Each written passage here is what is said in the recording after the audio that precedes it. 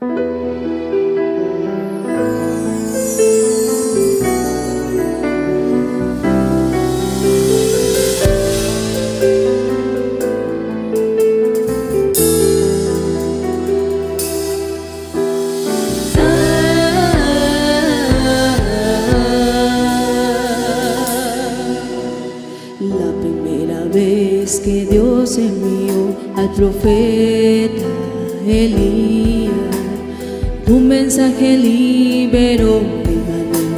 siete mil. Es la quinta vez que Dios enviará al profeta Elías, serán liberados ciento cuarenta y cuatro mil. Pero la cuarta vez que Dios ha enviado al profeta Elías, un pueblo gentil viuda de Sarepta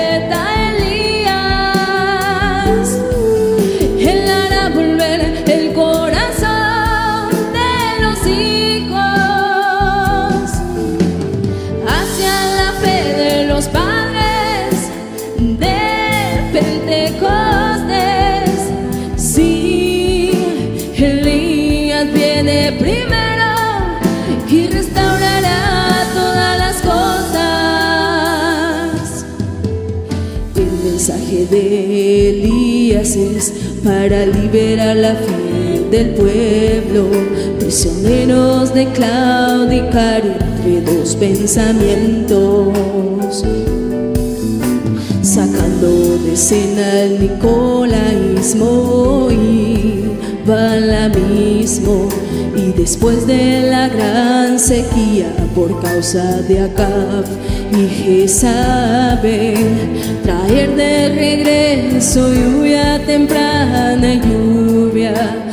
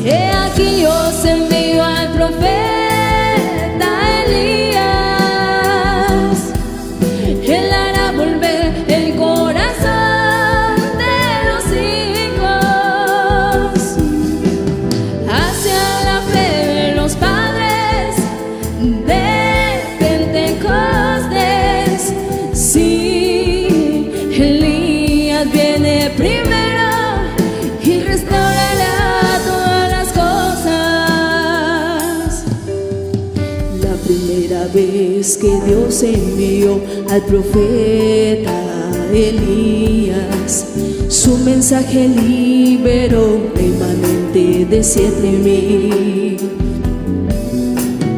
Es la quinta vez que Dios enviará al profeta Elías, serán liberados ciento cuarenta y cuatro mil.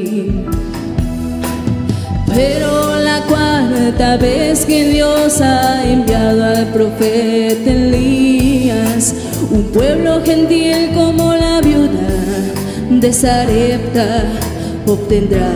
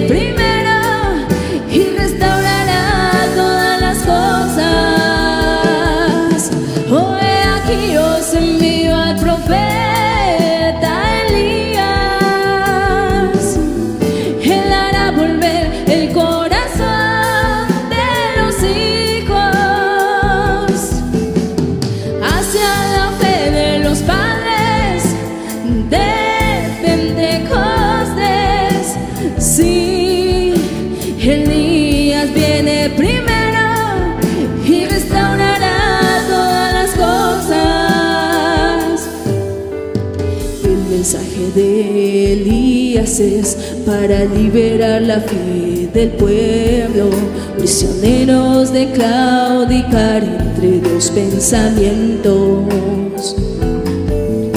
sacando de escena el nicolaísmo y mismo y después de la gran sequía por causa de Acab y Jezabel traer de regreso lluvia temprana lluvia tardía. Y mi pueblo nunca jamás será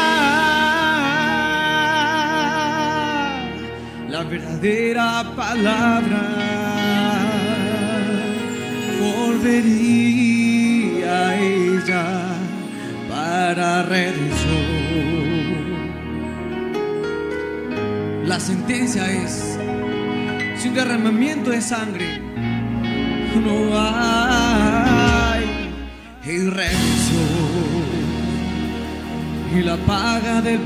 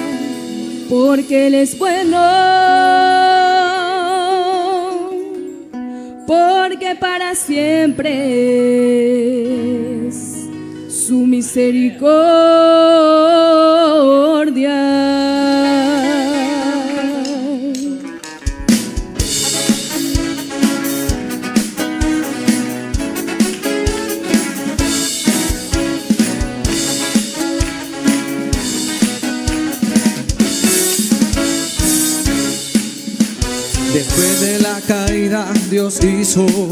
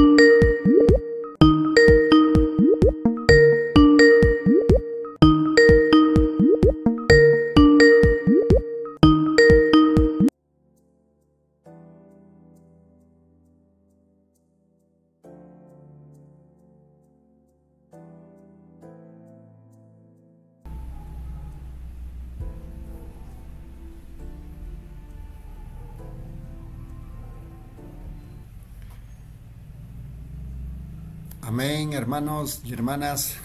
Que el Señor Jesucristo los bendiga.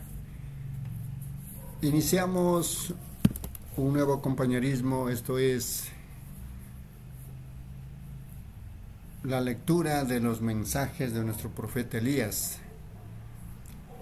Y en esta tarde queremos continuar con este compañerismo que nos hemos propuesto en cada uno de vuestros corazones, continuar con la lectura de todos los mensajes de nuestro profeta Elías, que estaba guardado para sabios y entendidos, pero fue revelado para pequeñitos que quieran aprender, y eso era un mensaje de la hora, Apocalipsis 17.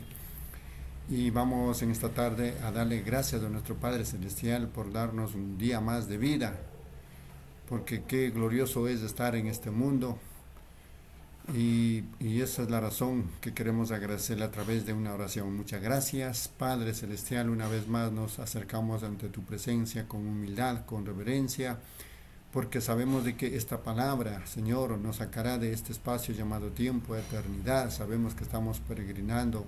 No sabemos qué tiempo, oh Padre amado, pero seis mil años han pasado y nos encontramos en este día, Señor, donde profetas del Antiguo Testamento y muchos quisieron vivir en este tiempo, Padre amado. Daniel incluso quiso conocer estos días, pero tú le dijiste que, que cerrara el, el, libro y que cuando la ciencia se aumente, y este es el momento, y esta es la hora, y por eso nosotros tenemos este privilegio, Señor, y en gratitud a eso nos acercamos para tener un compañerismo contigo, Padre amado, para continuar con la lectura, Señor, con de estos mensajes de nuestro profeta Elías que tú enviaste, Señor, que estaba en Apocalipsis 17, mientras el mundo no quiere reconocer porque no puede ver en este mensaje que estamos lecturando el develamiento de Dios, Señor, ahí está Apocalipsis 17, sino que en los días de la voz del séptimo ángel, cuando él comience a tocar la trompeta, el misterio de Dios se consumará, como así lo anunció a sus siervos los profetas. Cuando vino Jesús en la primera venida, estaba develado en cuerpo humano y no pudieron reconocer, más aún, que ahora está en la palabra, en su Santo Espíritu, Señor. Y, esa es la razón, nosotros somos privilegiados porque tú nos encontraste, Señor, en el trayecto de cada vida de cada uno de vosotros, Señor, y nos trajiste, nos llamaste, Señor, y nos alimentaste, Señor, con la comida de águila, oh Padre. Un águila al comer carne fresca esa águila empieza a volar lo más alto que puede y desde allá arriba está mirando, Señor, cosas que otros no pueden ver, oh Padre, otras, otros gallinazos, gavilanes, lo que sea, ellos no pueden ver, pero el águila sobrepasa cualquier altura, oh Padre. De la misma manera, aquí cuando este mensaje nos ha llevado hacia arriba, abajo están las denominaciones bautistas, pentecostales, presbiterianos, luteranos, etcétera, oh Padre amado entonces desde acá arriba estamos viendo cómo es tu gloria, oh Padre. Muchas gracias por ese privilegio. Entonces en esta tarde queremos continuar con la promesa que tú entregaste, Señor, para los últimos días. Ese fue Apocalipsis 18 al 11, donde tenemos que comernos el libro y profetizar nuevamente para tribus, lenguas, naciones y reyes, oh Padre. Muchas gracias por ese privilegio. Los hermanos y hermanas también que estarán en la cena juntamente, te decimos gracias, Padre amado, por el momento glorioso que tú nos has dado, Señor. Gracias, Padre, en el nombre del Señor Jesucristo. Amén, mis amados hermanos y hermanas. Vamos a continuar con la lectura de este glorioso mensaje titulado El develamiento de Dios. Servicio o predicado este glorioso mensaje en Jeffersonville, Indiana, Estados Unidos, el día 14 de junio del año 1964. Vamos a continuar a partir de los párrafos 76. Un segundito que lo ubicamos. En los párrafos 76.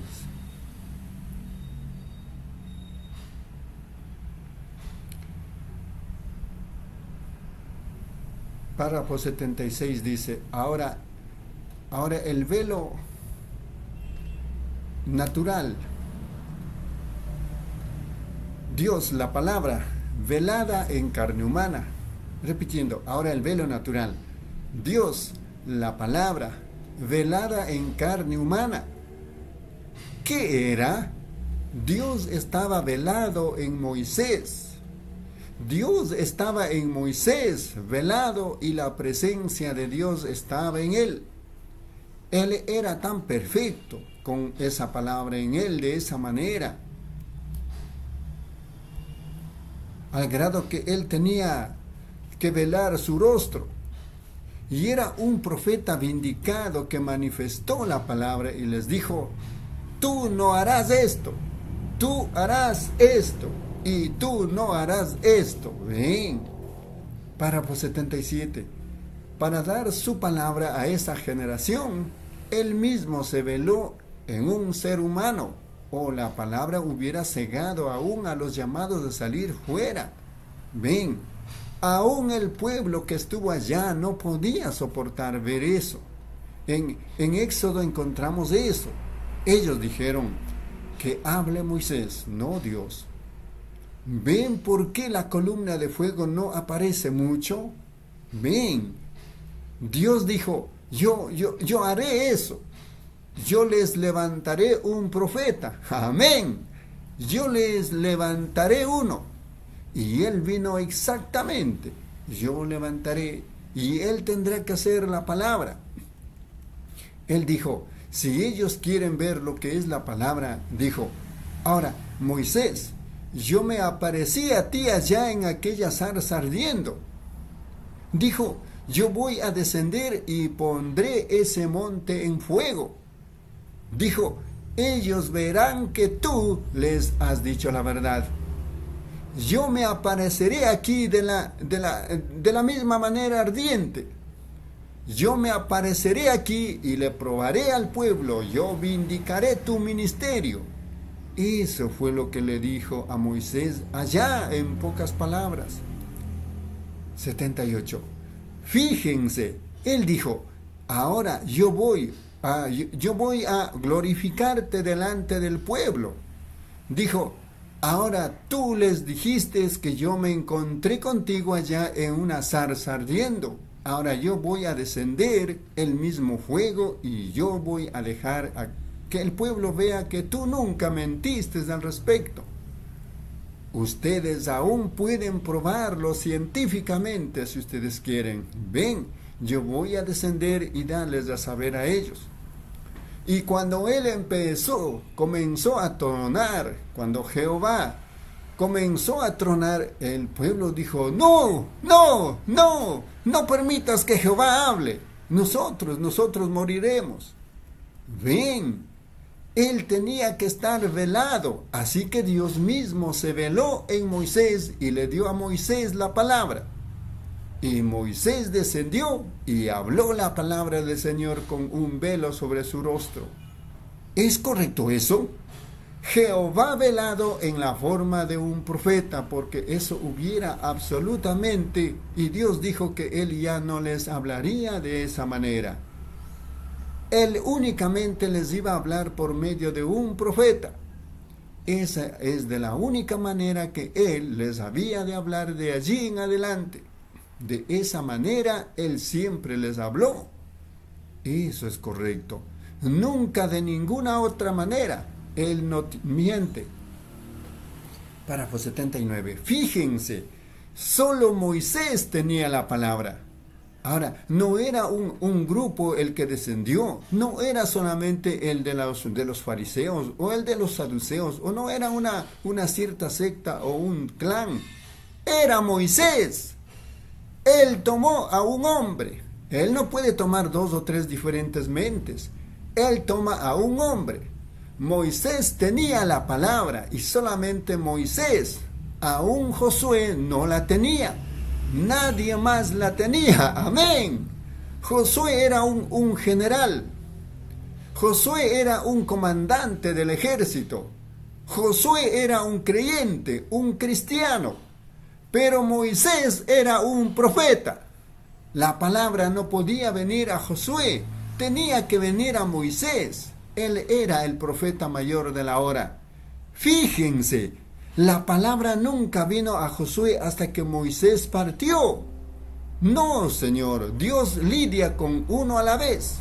Dios es uno. Ven. Ahora, solo Moisés tenía la palabra, no un grupo. Para 80. Miren, Dios advirtió a todas las personas de no tratar de seguir a Moisés dentro de ese velo imitadores. Ven, mujer, hombre, sacerdote, quien quiera que fuere, qué tan piadoso, qué hombre fuera, cuánto honor, cuánto ellos fueran. Él advirtió que Moisés venga solo. Y si algún hombre, aún un animal, lo tocare, tendría que ser matado allí mismo. Nunca entre detrás de ese velo. Ese velo pertenece a una persona. Ese mensaje es uno. Ven, en el templo un hombre entraba una vez al año ungido y arreglado para entrar, no para sacar la palabra, sino para ofrecer sangre. Aún para entrar allí adentro delante de ella era solamente uno. Cualquier otro hombre moría. Ven. Para 81. Ellos mueren espiritualmente ahora. Este es un velo espiritual. Ven, ese era un velo natural. Este es un velo espiritual. Ven, ellos siguen entrando detrás de allí. Uno puede decirles, oh, yo sé, yo sé eso, pero yo, ven, sigan adelante, está bien, solo habla. Ustedes recuerden que la última plaga en Egipto fue muerte antes del éxodo. La última plaga sobre la tierra es muerte espiritual antes del éxodo entonces ellos serán incinerados y vueltos al polvo y los justos andarán sobre sus cenizas. Pero la última cosa será muerte espiritual, rechazando la palabra. Párrafo 82. Ahora, fíjense, Dios advirtió a toda persona que no trataran de seguir a Moisés dentro del velo de fuego Moisés iba a ser velado. Él tenía que salir de allí. Moisés entró como Moisés entró en esta columna de fuego y cuando él salió, él estaba velado. Pues él entró allí apartándose de sus tradiciones, las tradiciones de los ancianos. Él había visto la columna de fuego, pero ahora él iba a entrar en la columna de fuego. Bien, amén. Y él salió velado. La palabra de Dios en un hombre velado. Aquí viene saliendo él. Oh, hermanos, yo puedo verlo. Advirtió que nadie más lo intentara. Nadie puede imitar eso. Es mejor que no. Ven, a un, sacerdote o un hombre santo, con quien quiera que fuere, cardenal, obispo, cualquier otra cosa, tratando de entrar detrás de ese velo, moría. Dios les advirtió, no tendremos imitaciones. Para 83. Su palabra es revelada a uno.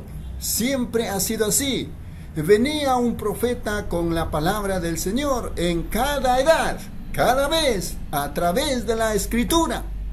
La palabra viene a uno en cada edad. Lo mismo, aún en las edades de la iglesia, desde la primera hasta la última. Otros tienen sus lugares, eso es correcto. Fíjense, pero apártense de esa columna de fuego. Ven, ¿qué lección aprendemos aquí? Ven, todos queriendo ser un Moisés y todos. Para 84. ¿Recuerdan ustedes lo que Datán y ellos dijeron allá? Ellos dijeron, mira Moisés, espera un momento. Tú mismo quieres controlar todo. Ven, ahora hay otro hombre aquí que Dios ha llamado. Eso es verdad. Ellos, cada uno iba siguiendo bien mientras iba caminando. Pero cuando uno intentó estar por arriba de los demás y tomar la posición de Dios que Él le había dado a Moisés, el cual era predestinado y ordenado para ese trabajo, intentó de tomarla. Fuego descendió y la tierra se abrió y se los tragó. Ven, ven, tengan cuidado, ven, solo sea un buen cristiano piadoso de Dios, creyendo la palabra, ven, apártense de esa columna. ¡Qué lección! Para 85 por último. Dios primero se le había aparecido a Moisés en una zarza ardiendo. Dios estaba velado en la columna de fuego. Ahora escuchen atentamente por un momento. Dios primero vino a Moisés. Él estaba velado. Dios estaba en una columna de fuego, escondido allá en una zarza. Ven, lo mismo que detrás de las pieles. Ven, allá junto al propiciatorio en el altar. Ven, Él estaba velado. Él siempre está velado. Y cuando él vino a Moisés, él estaba en una columna de fuego, velado en la columna de fuego. Pero allí delante del pueblo Dios lo vindicó a él por la misma columna de fuego. Ven, Moisés dijo, amén, mis amados hermanos y hermanas, glorioso mensaje y glorioso tiempo que estamos viviendo. Continuando con la lectura de este glorioso mensaje, El develamiento de Dios, servicio realizado en Jeffersonville, Indiana, Estados Unidos, del día 14 de junio del año 1964. A continuación, hermana Reina, por favor, en los párrafos 86 al 95.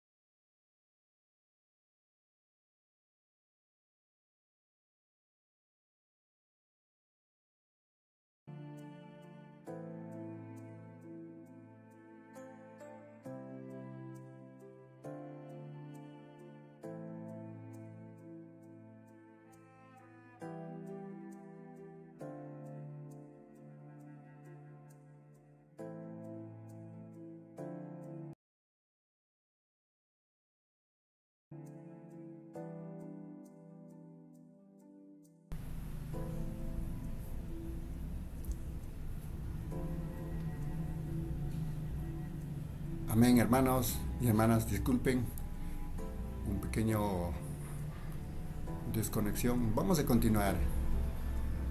Continuamos con la lectura de este glorioso mensaje titulado El develamiento de Dios.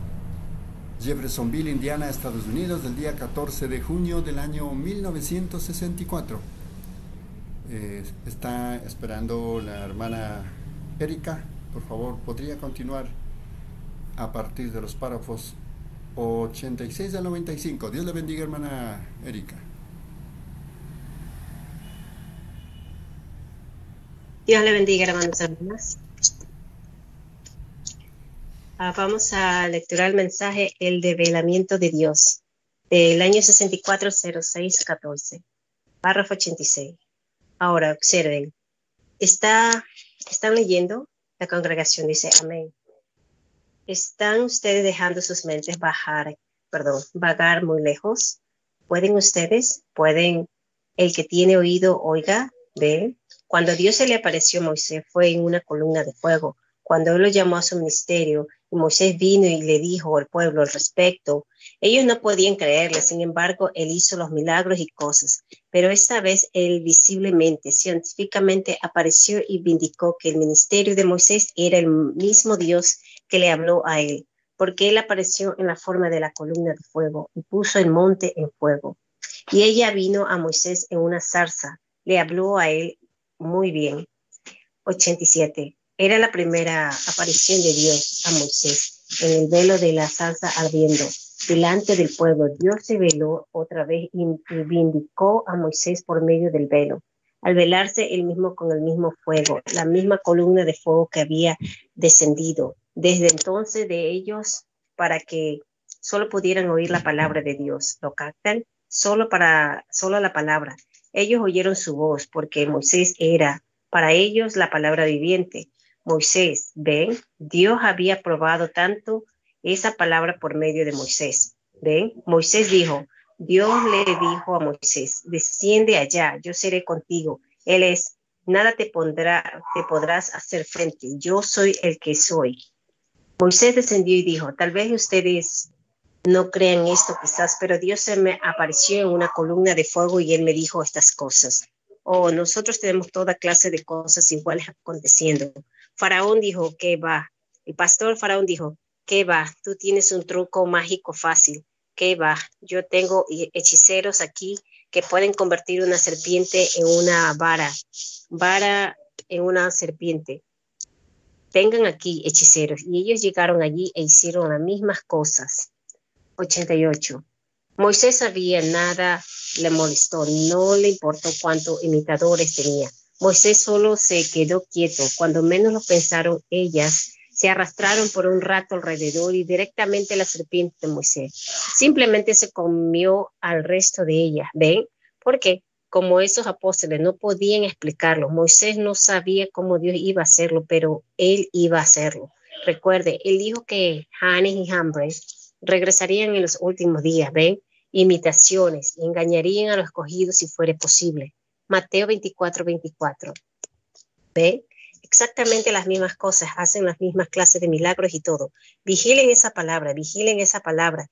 El hombre que dice que él hace un milagro y todavía quiere creer que hay tres dioses y hay todas estas clases, ustedes apártense de eso. Sabemos que eso, que eso está errado, ¿ven? No hay tal cosa, ¿ven? La palabra, toda palabra, toda palabra que sale de la boca de Dios. Génesis, una palabra. Aquí dice, no quites o añadas una palabra, ¿ven? Tiene que ser esa misma palabra, ¿ven? 89. Fíjense, el pueblo vio que algo había sucedido. Moisés había sido velado como un, él era un profeta y Dios ahora había vindicado su palabra, descendió allá y él había visto señales y maravillas. Y entonces, muy bien, este pueblo se separó en una iglesia, ¿ven? Iglesia significa llamado fuera, ¿ven? Después que ellos fueron llamados a salir fuera del mundo y llegaron a ser un pueblo, ¿ven? Entonces Dios mismo dio a conocer que él era esa columna de fuego. Él probó el mensaje de Moisés. Ven, él era la columna de fuego. Ellos pudieron haber tomado la fotografía de ella, creo yo, si hubieran tenido cámaras, porque todo estaba en fuego. Pero ellos, ellos probaron eso. Dios probó que el mensaje era correcto. El mensaje estaba a la mano, todo estaba. Entonces iban a ser sacados en un éxodo. Velo, veló a su profeta de este pueblo en Éxodo 90 la gente pensó, vio que algo le había sucedido a él. Él ahora era diferente del resto de los israelitas. Él era diferente. Su mensaje era diferente. Él era diferente de los sacerdotes. Él era diferente de cualquier cosa, ¿ven? Él era una persona diferente. El pueblo vio que algo había acontecido. Dios mismo se había velado en su profeta para hablar sus palabras a ellos. Eso es lo que él había hecho. Moisés era la palabra viviente para la gente, velado por medio de la columna de fuego, hablando de lo que iba a ser velado después de detrás de pieles de tejón. ¿Ven? 91. La palabra primero tenía que provenir de Moisés. ¿Ven? Moisés tenía la palabra. Ellas fueron escritas por Dios. Nadie podía interpretarla. Moisés primero tenía que interpretarlas. Esa es la razón que él veló su rostro, porque él, ¿lo ven? La, la congregación dice amén. Ven, aquí está, el hermano Branja levanta su Biblia. Nosotros pudiéramos levantarla, cargarla y todo lo demás, pero tiene que ser revelada con el fin de revelarla. Moisés tenía que llegar a ser Dios para el pueblo. Ustedes dicen, eso es tontería. Bueno, él dijo, aún él mismo le dijo a Moisés, tú serás Dios y Aarón será tu profeta. ¿Ven? Así que allí venía él. ¿Ven? Él mismo tenía que velarse porque Dios siempre está detrás de un velo. Oh, hermanos, ¿lo ven? La congregación dice amén. Dios está escondido del pueblo. Dijo, Padre, te doy gracias que has escondido estas cosas de los sabios y entendido y se los has revelado a niños o a aquellos que quieren aprender. ¿Ven? 92. Dios se escondió detrás del velo. Moisés veló su rostro. Moisés era entonces la palabra viviente velada. El pueblo vio esa columna de fuego. Dijeron, ahora estamos satisfechos, ¿ven? Que, que hable Moisés, ¿ven? Que no hable Dios, para que no muramos. Moisés entró en esa columna de fuego, ¿ven? Y dijo ahora, él dijo, ahora yo, yo ya les hablaré a ellos de esta manera. Yo les daré a ellos un profeta, ¿ven? Y de esa manera, él siempre lo hizo, ¿ven? Dijo, ahora, déjalos que lo que que lo hagan así, pero este profeta tenía que tener esta palabra. Si él está velado con una tradición, Dios nunca lo envió a él. Si él está velado con la palabra, Dios lo vindicará. Dios interpreta su propia palabra. Moisés lo habló, Dios la interpretó. Amén. Moisés dijo, el Señor así lo dijo y el Señor hizo exactamente lo que él dijo. Eso lo confirmó. 93. Ahora él dijo, Ahora, Moisés, tú entiendes, el pueblo entiende ahora, ven, yo te he mostrado, yo te he vindicado a ti. Dios mismo se había velado en este profeta para hablar su palabra al pueblo. Moisés era el Dios viviente para ellos, la palabra viviente de Dios manifestada. Esa era la razón que su rostro estaba velado, ¿ven? Y saben ustedes que la misma cosa está velada hoy en un cristiano genuino de los incrédulos. Ellos ven a esas mujeres con cabellos largos y cosas. Ellos dicen, miren a ese modelo anticuado, a las mujeres que se trenzan sus cabellos y se les suben colocándolo en la parte de atrás. Les dicen, tienen una llanta desinflada, una llanta de repuesto allí arriba. ¿Ven? Todo está velado. Ellos están ciegos. Oh, dicen ellos, yo tengo un PhD, título de doctorado. A mí no me interesa lo que ustedes tengan. Ustedes todavía ignoran la palabra, exactamente lo correcto. O eso es solo algo de poca importancia. Yo, tomen las pequeñas lesiones primero. 94. ¿Qué de las personas que dicen que ellos están velados en la presencia de Dios y predican la tradición de alguna iglesia? Oh, Dios mío, por favor, el que le añade y le quite y todo lo demás al inyectar sus propios temas y sus propios pensamientos y no la palabra de Dios, ¿ven? ¿Qué clase de velo? Eso tiene un velo eclesiástico. Dios ha roto el velo, abriéndolo completamente. Ellos dijeron, no hay tal cosa como profetas, no hay tal cosa en estos últimos días como apóstoles y profetas, no hay tal cosa como sanidad divina. Yo ya no, no hay tal cosa como videntes, no hay tal cosa como Marcos 16 siendo cumplido. La edad apostólica se ha terminado. Ellos lo velaron en el pueblo, pero Dios salió con el Espíritu Santo de fuego y rascó esa cosa de arriba abajo. Dios ha rascado el velo. 95. Moisés era el velo, la palabra viviente de Dios velada detrás de la carne humana. La columna de fuego estaba en Moisés, por supuesto, hablando de lo que iba a ver, iba a ser velado después detrás de pieles. ¿Ven? ¿Ven ustedes? Ahora, eso, la palabra, la palabra fue traída, luego fue escrita, luego ella fue puesta detrás y todavía estaba velada, porque Dios siempre estaba en esa palabra, amén. Él siempre es la palabra, Él estaba en esa palabra. Esa es la razón que la palabra tenía que estar velada. Dios le bendiga, hermanos, hermanas. Amén, hermana Erika, Dios le bendiga. Continuamos. Mensaje El Develamiento de Dios. Servicio realizado en Jeffersonville, Indiana, Estados Unidos, del día 14 de junio del año 1964. Continuando con la lectura, párrafo 96 dice: Oh hermano y hermana, ¿lo están captando? La congregación dice amén. Miren, ¿no ven? Ha estado velada a través de estas edades de acuerdo a lo que Dios dijo y será abierta en los últimos días. Esos siete sellos serían abiertos y la cosa completa quedaría a la vista del pueblo, lo que había estado aconteciendo todo el tiempo la hora del mensaje del séptimo ángel, todos los misterios de Dios deberían ser dados a conocer en ese Elías, en esta última hora. ¿Cómo es que Cristo es puesto fuera de su iglesia, el Hijo de Dios?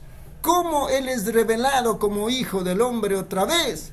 ¿Cómo es que la iglesia debe ser puesta en orden y todo para el último día? Sin credos, sin denominación, solo absolutamente la palabra viviendo en el individuo. Yo tomaré a uno y dejaré a otro. Yo tomaré a este y dejaré a ese. Ven, solo hay, no hay cuerdas, no hay denominaciones, no hay ataduras, no hay nada. Es el corazón con Dios y solo Él. Ven. Párrafo 97. Fíjense, velado en carne humana. Moisés era esa palabra, hablando lo que después iba a ser puesto detrás de pieles de tejón.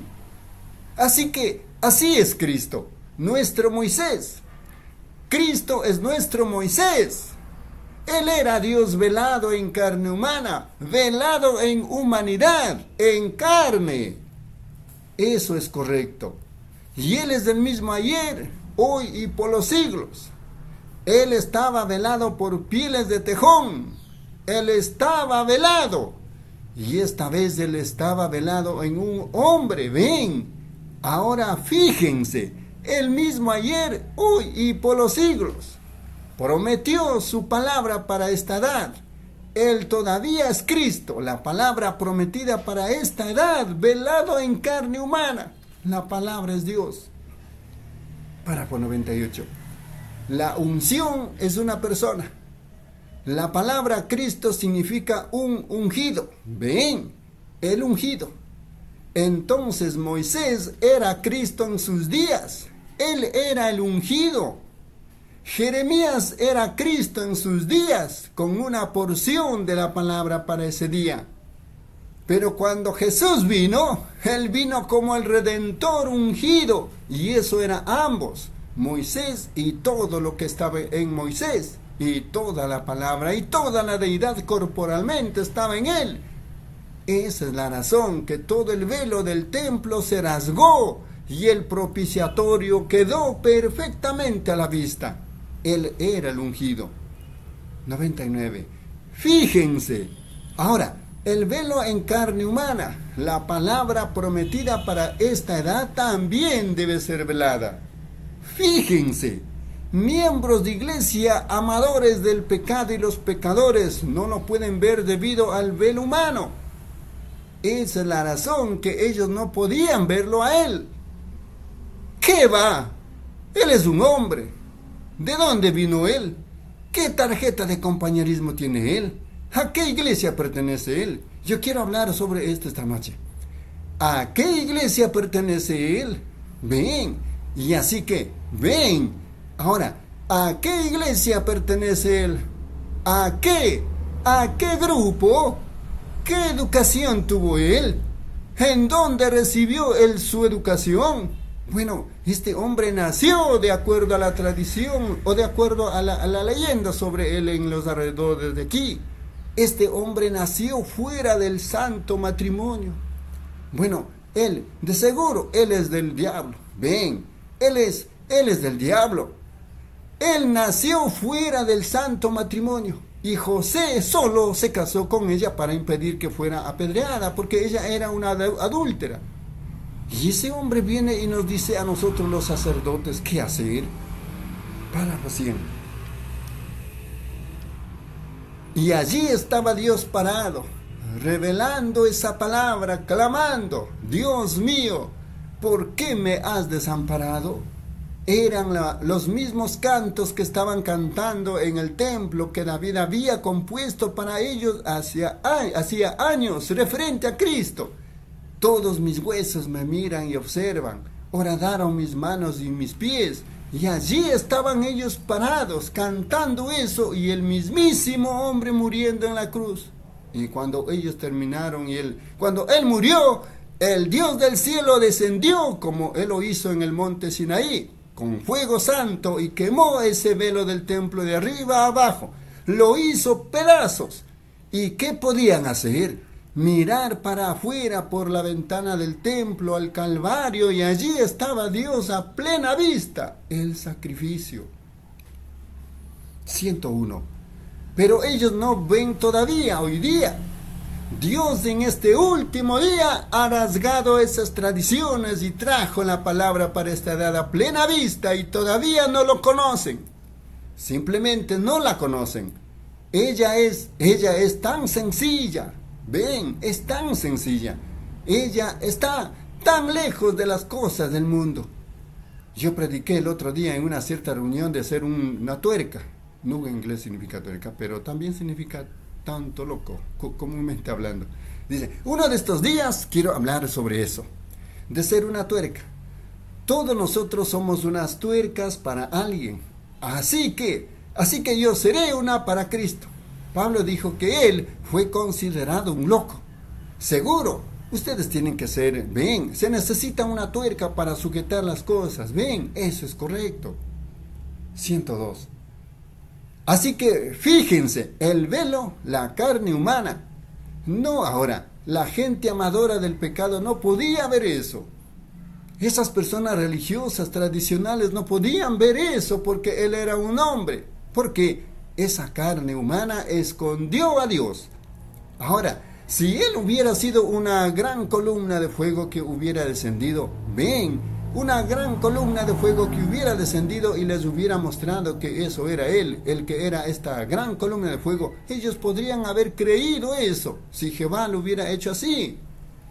Pero ven ustedes lo que él hizo para que él pudiera pasar por alto a toda esa gente sabia e inteligente. Él simplemente se reveló como él le prometió a Moisés. Ven, yo les hablaré a ellos por medio de un profeta.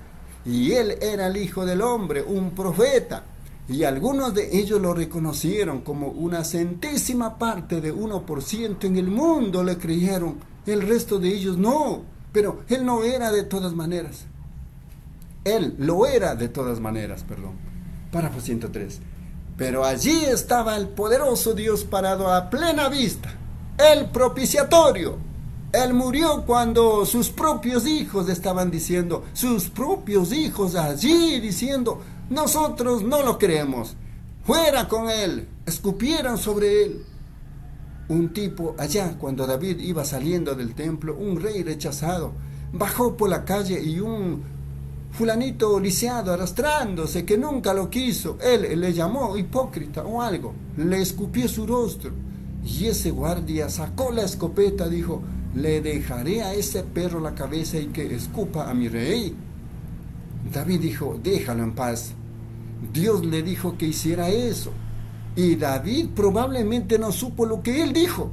Subió al monte mirando hacia atrás, llorando.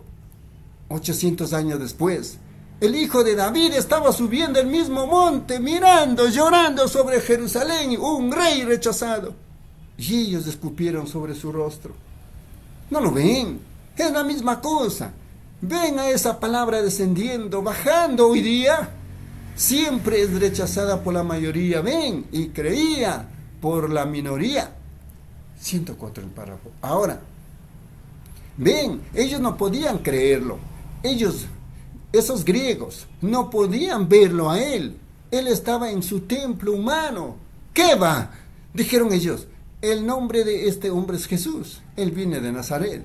Ahora, solo tenían un nombre allá en aquellos días, como Juan, Jaime, como decir Juan de Jeffersonville, Jaime de Albany, o algo así, ven ustedes. Él dijo, este Jesús de Nazaret, comúnmente se cree que su madre quedó embarazada de un soldado, ven, entonces eso es exactamente lo que creían, seguro. Y dicen, dijeron, bueno, y este es Jesús de Nazaret, ven ustedes, ¿quién es él? Ven, no podían entender eso. Párrafo 105 por último. Pero bueno, esta palabra para aquel día cuando él estaba predicando, dijo, escudriñad las escrituras. A vosotros os parece que en ellas tenéis la vida eterna. Amén. Y ellas son los que dan testimonio de quién soy yo. Si vosotros no me creéis, olvídense de mí como un velo. Crean la palabra que está saliendo. Dos son testigos. Él dijo, yo hablo y el Padre habla por mí, amén. Eso es correcto. Yo hablo de la palabra para este día y el Padre lo confirma. Ahora, ¿es, un testigo para ustedes? La congregación dice, amén. Lo es, ven. Así es como ha de ser cumplida. Amén, gloria a Dios. Amén, mis amados hermanos y hermanas. Estamos lecturando en esta gloriosa tarde este hermoso mensaje titulado El devenamiento de Dios. Mensaje predicado en Jeffersonville, Indiana, Estados Unidos, el día 14 de junio del año 1964. Continuando con la lectura, hermana Erika, por favor, en los párrafos 106 al 115.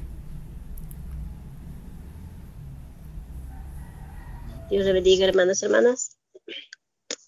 Continuamos con el mensaje El develamiento de Dios.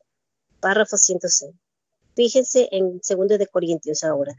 En 2 de Corintios, el capítulo 3, el versículo 6, el templo antiguo alojó a Dios detrás de pieles viejas de los judíos.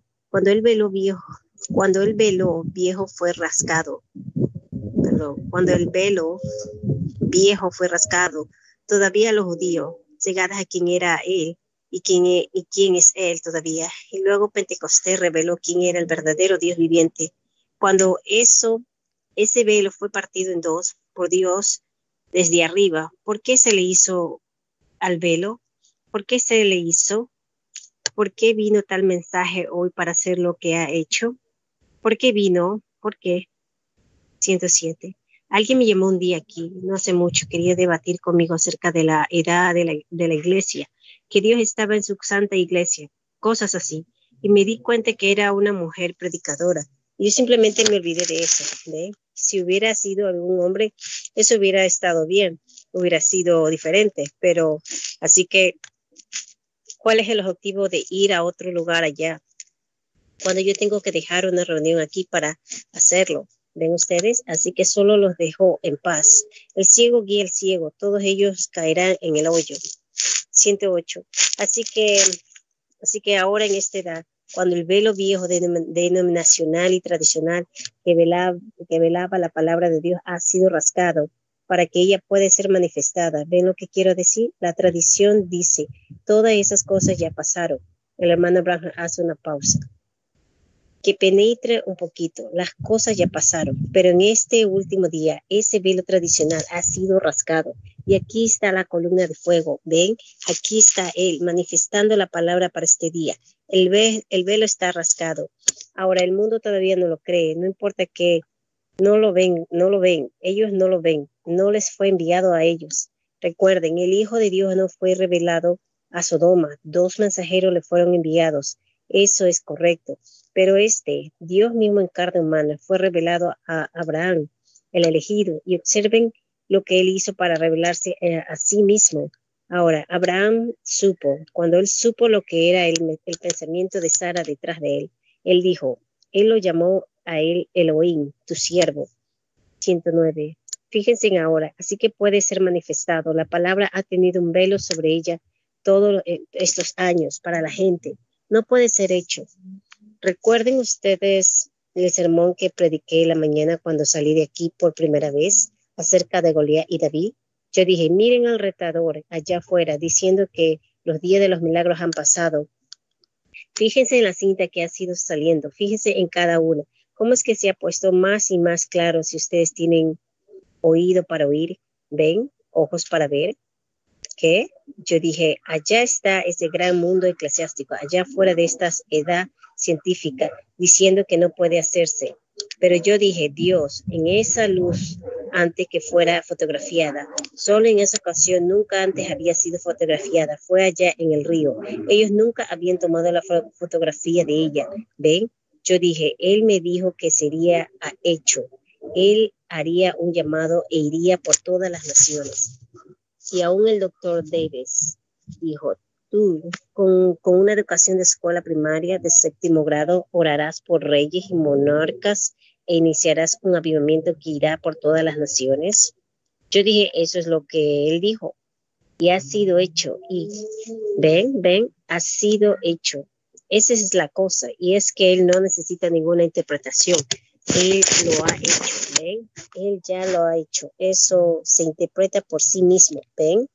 Llamando a sus elegidos, ¿ven? De todas las condiciones de vida, ahora ha sido manifestado. 110.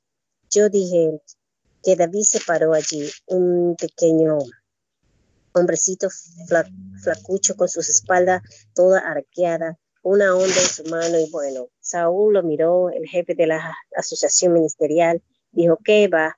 tú, tú ni siquiera estás entrenado. Él dijo, déjame ver si yo puedo darte un doctorado o algo. Pongan esta armadura sobre él. Eso. Él se dio cuenta que no cuadraba con un hombre de Dios.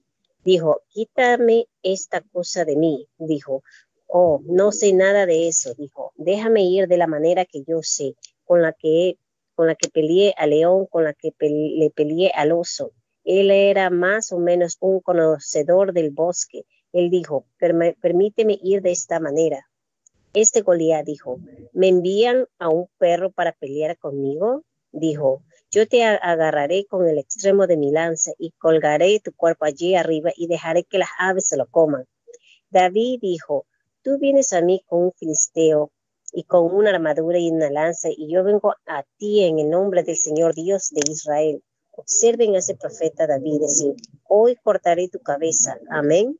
Oh, hermanos, él sabía lo que tenía, en quién había creído y estaba plenamente convencido que él era poderoso para cumplir lo que él le confió a él. ¿Ven? Así que aconteció de todas maneras. El viejo dicho, los días de los milagros ya pasaron. Las paredes están derribadas. Jehová todavía se para a plena vista, manifestando su palabra, el develado. Eso es correcto. 111. Fíjense, la iglesia gentil también ha sido cegada por el velo, después que el velo eclesiástico ha sido rascado, mostrando a Dios cómo, al velar la palabra en seres humanos otra vez. Eso es exactamente lo que Israel falló en ver. Si hubiera sido algún ángel o algo, Israel lo hubiera creído, pero siendo, no podía ser un ángel, tenía que ser un hombre. Amén. Dios no puede quebrantar su palabra. En los últimos días tiene que ser la misma cosa otra vez. ¿Ven? ¿Qué, qué, es, qué cegó a Israel? Ese hombre. Tú eres un hombre siéndote Dios. Por eso es que lo mataron. Y hoy, porque el mensaje viene por medio de un hombre y no de ángeles, ¿ven? Dios no puede cambiar su manera, cambiar su palabra. Él dijo que él no cambiaba. ¿Ven? Fíjense lo prometió y los gentiles están tan ciegos hoy como Israel lo estaba. ¿Debido a qué? Al velo. Dios velado en un ser humano cegado a, cegó a Israel. Fíjense, siempre ha cegado a uno. A uno cegará, al otro revelará la verdad. Cerrará los ojos de unos y abrirá los ojos de otros. 112. Miren, Jesús se paró y dijo, bueno, tu nombre es Simón y el nombre de tu padre es Jonás. Era Jonás el hermano Branja quiso hablar de Natanael, como lo prueban los párrafos siguientes. Él dijo, Señor Dios, ven, Felipe. Él dijo, ¿cuándo, supiste? Él dijo, he aquí un israelita en quien no hay engaño. Y él dijo, Rabí, ¿cuándo me conociste? Él dijo, antes que Felipe te llamara, cuando estabas debajo de la higuera, te vi. El rabí, él dijo, Rabí, tú eres el Hijo de Dios, tú eres el Rey de Israel. Bueno, allí se pararon esos, dijeron, él es el Belzebú, ¿ven? ¿Qué hizo? Abrió los ojos de uno, cegó al otro. ¿Qué dijeron los sacerdotes? Que va, ese hombre es Belzebú.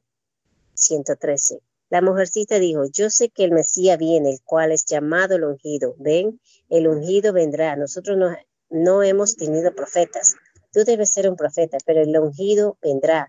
Estamos esperándolo. Estos son los últimos días para los gentiles o para los judíos. Dijo, este es el último día, ¿ven? Ambos samaritanos y judíos estaban esperando a un Mesías, ¿ven? Dijo, este es el tiempo para que Él aparezca. Sabemos que cuando Él venga, Él hará estas cosas, Él nos dirá estas cosas. Él dijo, yo soy Él. Sus ojos fueron abiertos. El policía, los sacerdotes fueron cegados. Eso es lo que siempre hace el Evangelio. Abre los ojos de algunos, revela la verdad a algunos, mientras ciega a otros, tiene un doble significado algo, algunos pueden tomar a ese hijo y mirar directamente a él y quedarse ciego, otros pueden tomarlo y andar con él, esa es la diferencia. 114. Como fue hecho en cada edad, la edad, la deidad velada en carne humana. Fíjese, él lo hizo, los profetas eran la deidad velada, ellos eran la palabra de Dios. ¿Es correcto eso? velado en carne humana. Así que ellos no le prestaron atención a nuestro Moisés tampoco. ¿Veos Jesús? Fíjense, velado detrás de pieles viejas de tejón en el templo antiguo. Estaba la palabra, estaba la palabra manifestada en tablas de piedras. 115. Ahora yo voy a tratar de terminar con como en 20 minutos. Si puedo terminar como a las 11 y media, fíjense. Si ustedes se fijan, yo he excluido algunas páginas aquí. ¿Ven ustedes? Para no tener que, para no tener que cortar, hacerlo demasiado largo. Yo sé que ustedes tienen calor y están cansados. Dios le bendiga, hermanos y hermanas. Amén, hermana Erika, Dios le bendiga. Recordando una vez más, estamos lecturando y compartiendo este glorioso mensaje titulado El develamiento de Dios, servicio realizado en Jeffersonville, Indiana, Estados Unidos, el día 14 de junio del año 1964. Continuando con la lectura, en los párrafos 116 dice, detrás del velo en el templo antiguo, ¿qué estaba detrás de allí? ¿Qué era Jehová? ¿Qué estaba escondido allí atrás? ¿Qué estaba escondiendo el velo? ¡Oh, aleluya! ¿Qué estaba escondiendo el velo? Estaba escondiendo la palabra, el velo, las pieles viejas de tejón. Estaban escondiendo, escondiendo la palabra de sus ojos naturales. Detrás de allí, detrás también estaba la gloria Shekinah pero todo estaba escondido de ellos. Todo estaba escondido. Toda la gloria de Dios estaba detrás de esa piel vieja de tejón. Eso es correcto. todo estaba escondido del ojo natural. Lo está hoy en día también. Es llamado un montón de fanáticos, aleluyas, pero no saben lo que está escondido detrás de allí. Eso es lo que no saben. Ven, párrafo 117. Entonces cuando Dios, en misericordia, rasgó el velo para que lo vieran, ellos estaban tan envueltos en sus tradiciones que ellos eh, todavía estaba escondido de ellos, aún hasta este día. Lo mismo ahora. La gloria, el poder del Espíritu Santo, la gloria que viene sobre el creyente. Yo estoy hablando del verdadero creyente, que hace que las obras de Dios y que la fe entren en él para creer en la palabra de Dios. Todo eso está escondido de los ojos de ellos. Ellos dicen, esas cosas pasaron. Ven ustedes, todavía están viviendo detrás del velo. Ustedes ya no están detrás de ese velo pequeñitos. Dios ha quedado a plena vista de ustedes. Amén. Párrafo 118. El otro día, el hermano Fritz Oldman y el hermano Tom Simpson, yo no sé si él haya llegado aquí o no, varios de nosotros estábamos en una iglesia bautista y el ministro dijo algo que sonó muy bien. Todos nosotros dijimos, amén. Todos en la iglesia estiraron su cuello y miraron hacia atrás. Ven, ven, encontramos una migaja que vino detrás de allí, de la Shekinah. Ustedes saben, y como que estábamos contentos de recibirla. Nosotros dijimos, en otras palabras, gracias Señor. Ven, y lo que hicieron esos hombres estaban tan velados que solo se rieron de eso. Ellos no sabían de lo que se trataba. Ven, ellos todavía están velados. Así que hay algunos adentro y algunos afuera. Y así que, pero Dios está a plena vista de nosotros, escondido, lo mismo ahora. Párrafo 119. Entonces cuando Dios, en su misericordia, rasgó el velo, Él fue traído a plena vista. Pero ellos estaban tan envueltos en sus tradiciones. Él todavía estaba escondido de ellos. Lo mismo ahora toda esa gloria escondida está escondido, escondida para nosotros, para nosotros, para nosotros en Cristo, la palabra, quien es nuestro templo. Oh, miren, yo voy a tener que elaborar en esto un poquito.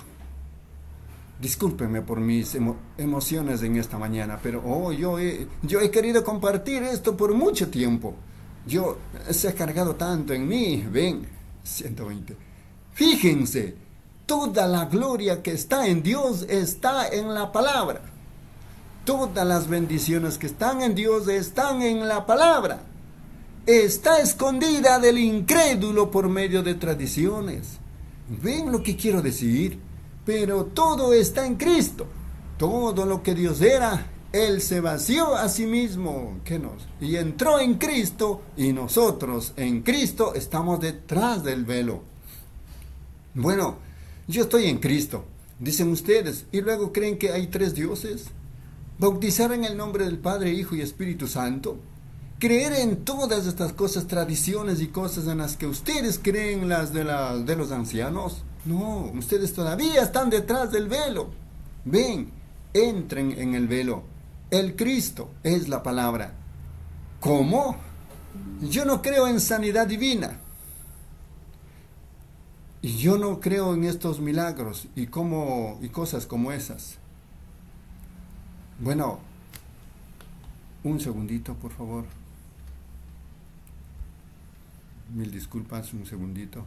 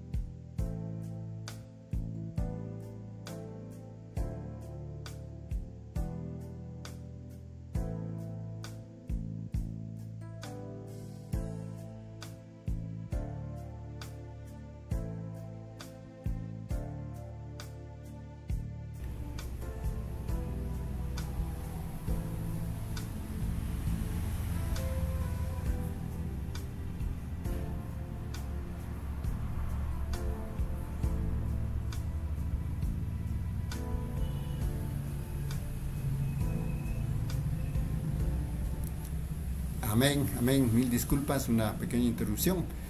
Eh, vamos a continuar con la lectura de este glorioso mensaje titulado El develamiento de Dios, servicio realizado en Jeffersonville, Indiana, Estados Unidos, del día 14 de junio del año 1964. Vamos a continuar en los párrafos 120. Dice, fíjense, toda la gloria que está en Dios está en la palabra. Todas las bendiciones que están en Dios están en la palabra está escondida del incrédulo por medio de tradiciones. ¿Ve lo que quiero decir? Pero todo está en Cristo. Todo lo que Dios era, Él se vació a sí mismo que nos y entró en Cristo y nosotros en Cristo estamos detrás del velo. Bueno, yo estoy en Cristo, dicen ustedes, y luego creer que hay tres dioses. Bautizar en el nombre del Padre, Hijo y Espíritu Santo creer en todas estas tradiciones y cosas en las que ustedes creen, las de los ancianos. No, ustedes todavía están detrás del velo. Ven, entren en el velo. El Cristo es la palabra. ¿Cómo? Yo no creo en sanidad divina. Yo no creo en estos milagros y cosas como esas. Bueno, ven ustedes, ustedes, ustedes no están dentro del velo. Ustedes no saben nada al respecto. Ven, Cristo es la palabra. Y cuando nosotros estamos en la palabra, estamos en Cristo. ¿Y cómo puedo yo estar en Cristo negando a Cristo? Fue el, el que le dijo, ni una palabra será añadida o quitada. ¿Cómo puede uno quitarle o añadirle entonces? Ven, les muestra a ustedes. ¿Qué velo les ha tenido velados afuera? Ven, Párrafo 121. Nosotros estamos en Él. Nosotros, entonces nosotros estando en Él, todavía estamos velados de los religiosos y catedráticos del mundo. Ven, con nuestra gloria que tenemos y disfrutamos, todavía estamos velados de los de afuera. Ellos piensan que estamos locos, que somos unas tuercas, otra vez. Ven, ven, eso es correcto. Pero nosotros que estamos aquí en Cristo, bautizados en Él, Primera de Corintios 12, en Él, somos participantes de esta gloria. Ven, pero no estando afuera. Ustedes todavía están mirando para adentro y negándolo. Ven. Así que ahora estamos invitados a entrar en Él para ser participantes de todo lo que Él es. Estamos invitados a entrar en Él lo cual está escondido de incrédulos por medio del velo de carne humana. Ven, ellos conocen de esa gloria, ellos leen de ella. Ella está aquí en la palabra, la gloria de Dios y cosas como esas. Y solo una palabra para ellos, para nosotros es una manifestación. Ven, ya no es una palabra, es una realidad. Amén. Dios dijo, sea la luz. Esa era la palabra. Pero ahora hay luz. No es la palabra, es la luz. Amén. ¿Ven lo que quiero decir? Párrafo 122. Ahora, no solo es una palabra escrita para nosotros, es una realidad. Nosotros estamos en Él. Ahora estamos disfrutando. Ahora lo contemplamos a Él. Ahora lo vemos a Él. La palabra manifestándose a sí misma está escondida de los de afuera debido a que a que está velada en carne humana. Ven.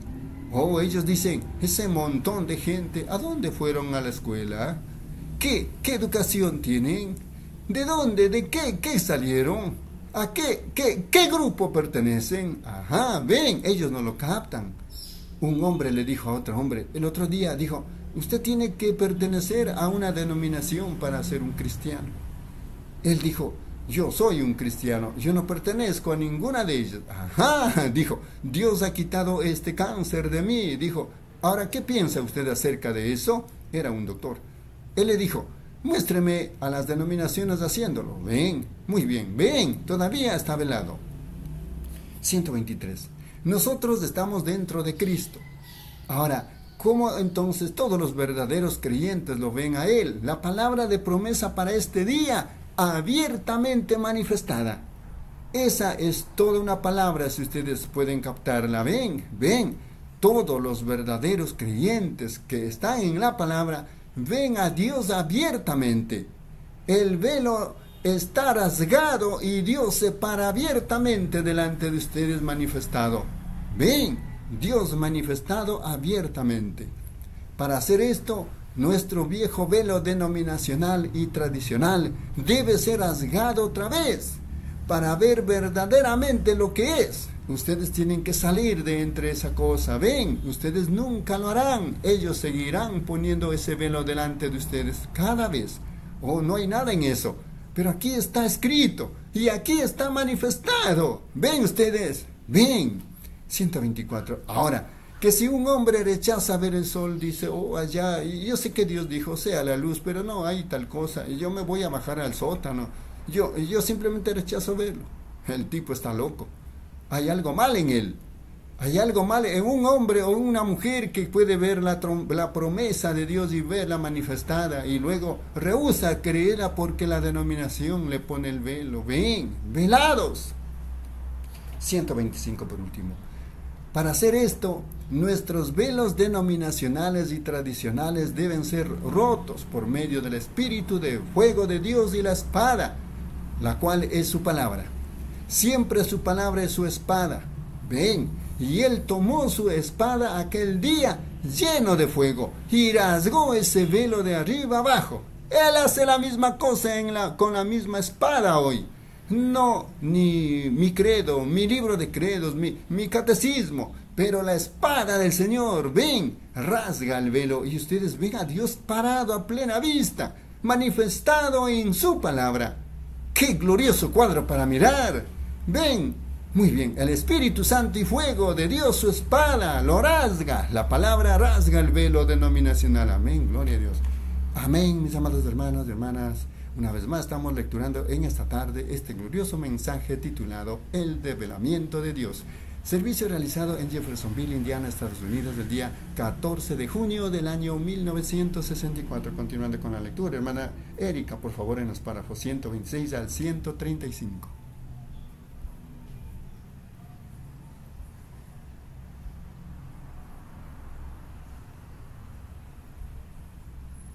Dios le bendiga, hermanos y hermanas. Vamos a continuar con el mensaje, el develamiento de Dios. Párrafo 126. Bueno, ¿qué si usted solo dijera la palabra y la palabra no hiciera nada? ¿De qué serviría que la espada estuviera aquí y uno dijera, no puedes rascar? Dijera, ah, y no pudiera rascar. Pero cuando ustedes colocan esa palabra de Dios allí arriba lo observan rascar, ella está y está siendo sostenida por una mano ordenada, enviada para hacerlo así. ¿Ven? Lo rasca abriéndolo y allí está él. Allí muestra a Dios plenamente la vista. El gran Jehová, esa es su palabra manifestada, la, porción, la porción que es prometida para el día. ¿Lo captan? ¿Ven? Cuando la espada, la promesa de hoy, para este día lo que debe de ser y Dios toma su espada y rasca hacia abajo el velo denominacional y lo abre. Él mismo se manifiesta y muestra que Él está allí. Todavía esa misma columna de fuego, fíjese, esa es la palabra manifestada para la promesa de hoy. 127. Nosotros lo vemos como lo vio Pedro cuando él dijo, Señor, ¿a quién iremos después de ver esto? ¿A dónde iríamos? ¿A qué iglesia podríamos unirnos cuando nacimos en una? ¿Ven? ¿A qué pudieran ustedes, a qué denominación pudieran ustedes unirse después de conocer esta verdad? ¿Ven? Y cuando ellas, cada una la niegan, cada una de ellas, yo no he visto a una que diga algo bueno a favor de ella, correcto, eso es correcto. 128. Yo comencé unos viajes aquí en un lugar en donde 42 iglesias los estaban patrocinando. Cuando llegué allá ya no tenía ninguna. Cada una de ellas decía, Él cree en seguridad eterna. Eso dejó a los legalistas fuera. Uno dijo, Él bautiza, Él bautiza en el nombre de Jesús. Eso dejó al resto de ellas fuera. ¿Ven? Una de ellas dijo, Él cree en la simiente de la serpiente. La serpiente no tiene simiente. Eso dejó. La Biblia dice, yo pondré enemistad entre la simiente de ella y la simiente de la serpiente. ¿Ven eso? Él, eso él veló, ha sido quitado de la palabra, ¿ven? Eso es correcto, ha sido revelado a niños, ha sido, ha sido quitado, ellos lo ven. Habrá, como una vez dije, eso es correcto, entonces será como una vez dije, cuando ustedes vean, cuando este velo es quitado de la palabra, las tradiciones son quitadas de la palabra. Como Jesús una vez dijo, cuando vosotros me veis, vosotros veis al Padre. Ven, Dios y su palabra son uno. Ahora entienden, cuando la palabra es manifestada, ¿qué es? Ven, 129. Jesús dijo, escudriñad las escrituras o os parece que es, os tenéis vida. Vosotros habéis creído en Dios, creed también en mí. Si no hago las obras de mi Padre, entonces no me creáis. Pero si hago las obras, yo y mi Padre uno somos. Cuando me veis, vosotros habéis visto al Padre. Y cuando ustedes ven la palabra manifestada, ustedes ven al Padre, Dios. Porque la palabra es el Padre, la palabra es Dios y la palabra manifestada es Dios mismo tomando su propia palabra y manifestándola entre creyentes. Nada puede hacerla vivir sino creyente, solo creyente. No es, no hará. 130.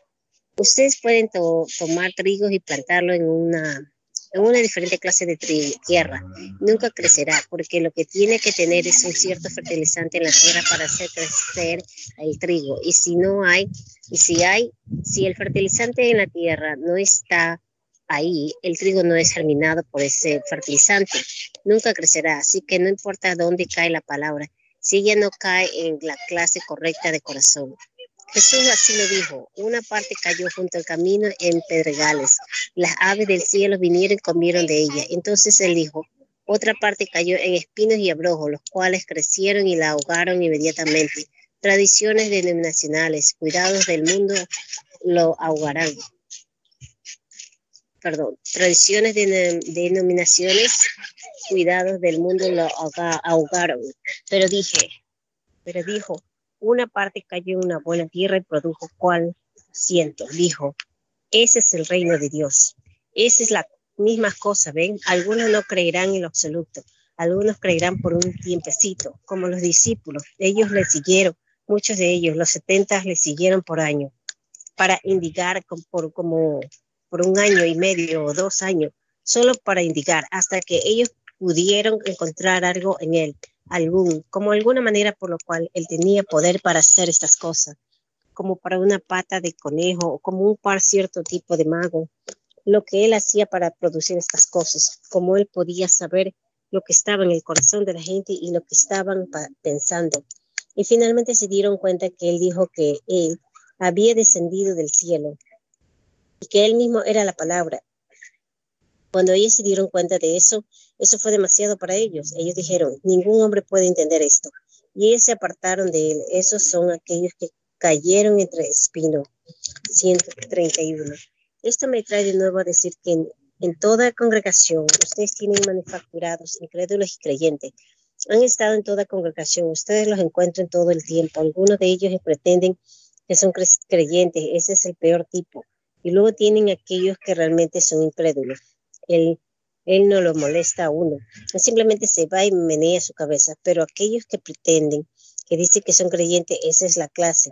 Esa es la clase que uno tiene que vigilar. Son esos manufacturados. Y luego hay algunos creyentes genuinos. Ven, ven a esos tres ahí. Allí estaban los incrédulos. Tan pronto como él dijo, coman la carne del Hijo del Hombre. Oh, qué barbaridad. Hasta ahí llegaron. Los otros eran manufacturados. Ellos se quedaron hasta así como Judas lo hizo hasta el final. Pero entonces los verdaderos creyentes no podían explicarlo, pero lo, creyeron de todos modos. Ellos siguieron hasta el final. 132. El velo, la tradición de incrédulos al ser quitado. Ustedes ven a Dios. Cuando el velo de tradiciones ha sido quitado, ustedes pueden ver que Dios todavía es el Dios de su palabra. Él todavía cumple su palabra. Él es el Dios, el autor de su palabra. Eso está escondido detrás de velos de pieles de otros. Sí, eso es correcto. Para aquellos que no pueden ir detrás del velo, Él todavía está detrás de velos de, de pieles. 133. Fíjense, entonces nosotros, entonces nosotros llegamos a ser parte de Él, ya que ustedes son el velo de que lo vela a usted. Ustedes son parte de Él. Mientras Cristo esté en ustedes como Cristo era de Dios, porque Dios estaba en Él. Eso lo hizo a Él Dios. Mientras Cristo está en ustedes, la esperanza de gloria de ustedes llega a ser parte de Cristo. El que cree en mí, las obras que yo hago, Él las hará también. ¿Ven? Ustedes llegan a ser parte de Cristo mientras Cristo esté escondido en ustedes. Entonces, está del lado del incrédulo, pero ustedes saben que Él está en ustedes. Ustedes están sirviendo de templo para Cristo que está detrás del velo, la piel. Entonces nosotros, por detrás, por causa de este velo, el velo otra vez de carne humana, esconde a Dios la palabra del incrédulo. 134. ¿Cómo está escrito? ¿Ven? Escritos, escritas vosotros estas, perdón, escritas. Vosotros sois cartas escritas. La palabra dice, la Biblia dice, ahora, ¿qué es una carta? Es una palabra escrita y vosotros son las escritas. En estas, en otras palabras, ustedes lo leerían así. Vosotros, ella dice, vosotros sois cartas escritas o vosotros sois la palabra que ha sido escrita, hecha manifiesta. Nada puede ser añadido a eso. Ustedes no pueden decir, yo soy una carta escrita y vivir algo más diferente excepto de lo que ya está escrito, porque nada puede ser añadido o quitado. El hermano Branja de, da palmaditas en su Biblia. 135. Como este famoso libro que el doctor Lee Bell, está escribiendo, yo quiero que lo vean después de un rato. El hermano Bell está aquí por aquí alguna parte. Yo lo vi afuera. Yo creo que él no pudo entrar, pero él está escribiendo un libro ahí de la edad de la Odisea y es muy sobresaliente. Y quiero que ustedes saldrá de la imprenta muy pronto. Así que estamos haciendo la última revisión de eso ahora. Y estaba escribiendo, estábamos discutiendo allí, ven, acerca de... Dios le bendiga, Dios le bendiga, hermanos y hermanas. Amén, hermana Erika, Dios le bendiga. Continuamos y recordando una vez más, es, lecturando este glorioso mensaje titulado El develamiento de Dios.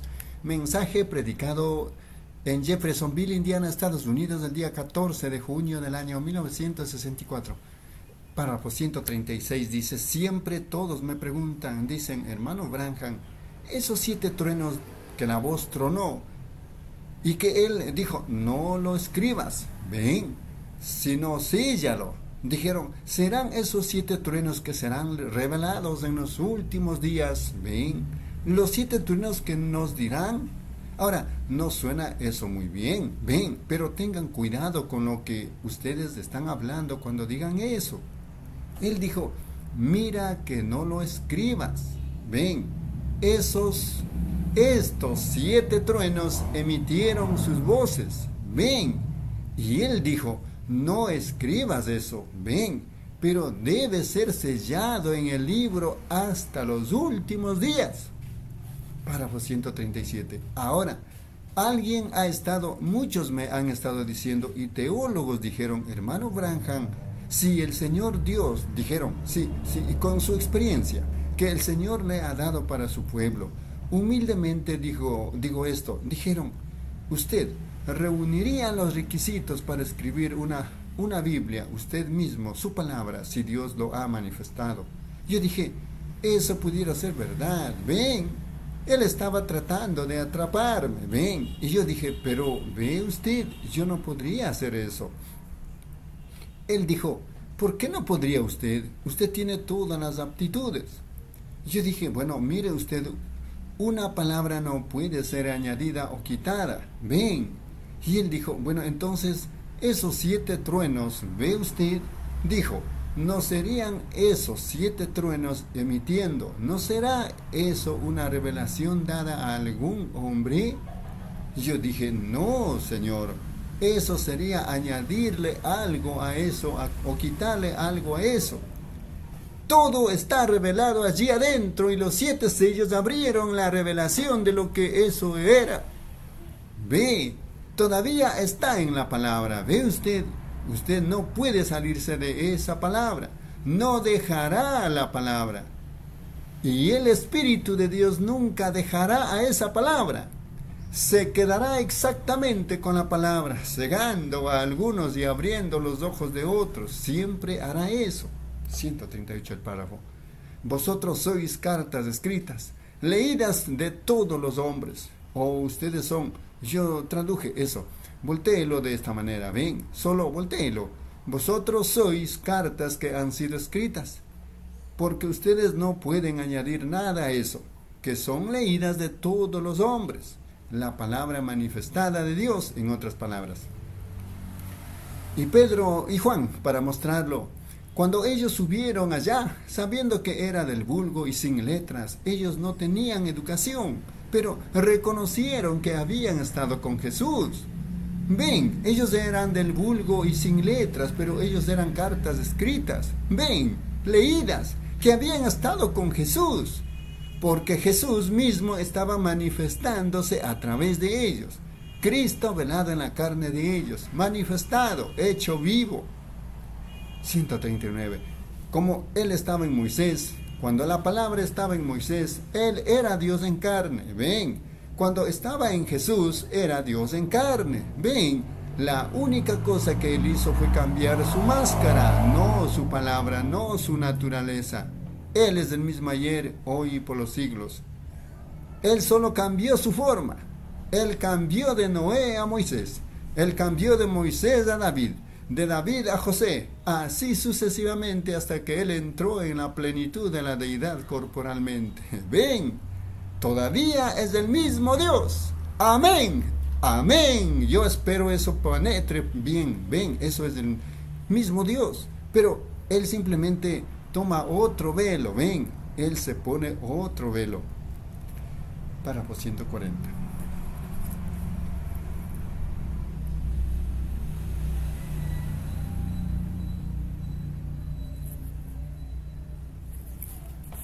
él hizo en los reformadores, tomando un velo, tomando un velo, hasta que finalmente vino a través de la edad luterana, a través de la otra edad. Entonces finalmente llega a lo completo. Un poco antes que él viene, un profeta se levanta otra vez. Lo que él ha de hacer es predecir la palabra, mostrando aquí, revelando lo que se ha hecho, lo que ha sido dejado fuera, para que la iglesia estuviera sin, no estuviera sin entendimiento. Entonces cuando esto se desvanezca, entonces cuando Juan dijo, es necesario que yo mengüe, pero que él crezca, entonces él todo en todo entra en él. Él es completamente manifestado a través de Lutero, Wesley y la edad pentecostal y así continúa, continúa. Él es completamente manifestado. Ven ustedes, desciende solo la manifestación, Dios develándose, ven. Ahora, fíjense, cumple en sus promesas para este día, como ellos lo tuvieron. Párrafo 141. Ahora Moisés era la palabra para ese día, porque la palabra fue dada a él para ese día, a Moisés. José era la palabra para sus días, representando exactamente a Cristo. Bien, cada uno de ellos era la palabra. Y cuando Jesús vino, Él era la palabra en su plenitud, porque todo el plan de redención estaba en Él. Todo el plan de redención no estaba en Moisés, no estaba en José, no estaba en Elías. Ven, ellos solo eran parte de la palabra apuntando a eso. Ven, Ahora fíjense, mantengan su pensamiento. Aquí viene, para decirlo así, ven, el plan completo no estaba en ellos. Ellos estaban apuntando a eso. 142. Por lo tanto, después de él, la plenitud, no podemos señalar a algo más. Lo señala de nuevo a él la palabra. El hermano Branham levanta su Biblia. Esta es la completa revelación nada puede ser añadido o quitado de ella. Allí está la completa revelación. Todo eso, una sombra de la venida de Él, pero cuando Él vino, Él era el perfecto, Hebreos 1. Dios, habiendo hablado muchas veces a los padres por medio de los profetas, Dios habló por medio de velos, los profetas, pero en estos postreros días por medio de su Hijo Jesucristo. Ahí lo tienen revelado allá en el Calvario. El Hijo de Dios, revelado. 143. Fíjense, hecho vivo. Y hoy en día Cuando la palabra es manifestada en vasos humanos, en velos, es absolutamente la palabra cumplida en este día, la cual regresa a Dios, siendo bautizados en Él. De acuerdo a 1 Corintios 12, llegamos a estar identificados con Él. Amén. 144 el párrafo. Yo dije media hora pero puedo tomar solo un poquito más de tiempo. La congregación dice amén. Ven, miren, yo no puedo pasar esto por, por alto aquí. Fíjense, identificados con Él. 145 por último. Ahora fíjense, ¿cuántos ciudadanos americanos están aquí? Levanten sus manos. Muy bien, si ustedes son ciudadanos americanos, entonces ustedes están identificados con esta nación. Todo lo que esta nación es, ustedes deben de ser. Es correcto eso. Ustedes son toda su gloria y ustedes son toda su vergüenza. Ustedes están identificados con ella. Ustedes son americanos, así que ustedes son los que América es. Aleluya. Yo estuve con George Washington cuando él cruzó el Delaware. Yo estoy identificado con él. Eso es correcto. Yo estuve con Abraham Lincoln en el discurso de Jedi Moore Discurso dado por el presidente de los Estados Unidos, Abraham Lincoln, con el fin de acabar la esclavitud de este país. Yo estuve parado allí. Yo estuve con los soldados en Guam, isla del Pacífico, en donde los Estados Unidos obtuvieron la victoria sobre los japoneses en la Segunda Guerra Mundial. Con ustedes, muchachos, cuando ustedes izaron esa bandera, yo estuve allí. Yo soy un americano. Yo estoy identificado con ella. Amén. Ahora, para ser un americano, cualquiera que sea su vergüenza en la revolución, se refiere a la guerra de independencia de los Estados Unidos. Yo la llevo porque yo soy un americano. Eso es correcto. Amén. Amén, hermanos y hermanas. Continuamos con la lectura de este glorioso mensaje titulado El develamiento de Dios, servicio realizado en Jeffersonville, Indiana, Estados Unidos, el día 14 de junio del año 1964. A continuación, hermana Erika, en los párrafos 146 al 155.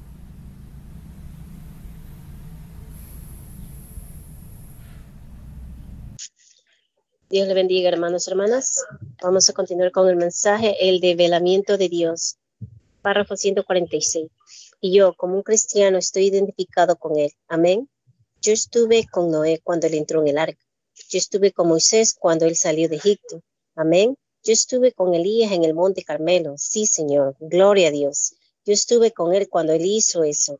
Yo verdaderamente estuve con él. Yo mismo me identifiqué en su muerte allá en el Calvario cuando yo moría a las cosas del mundo, a mí mismo y a todas las tradiciones.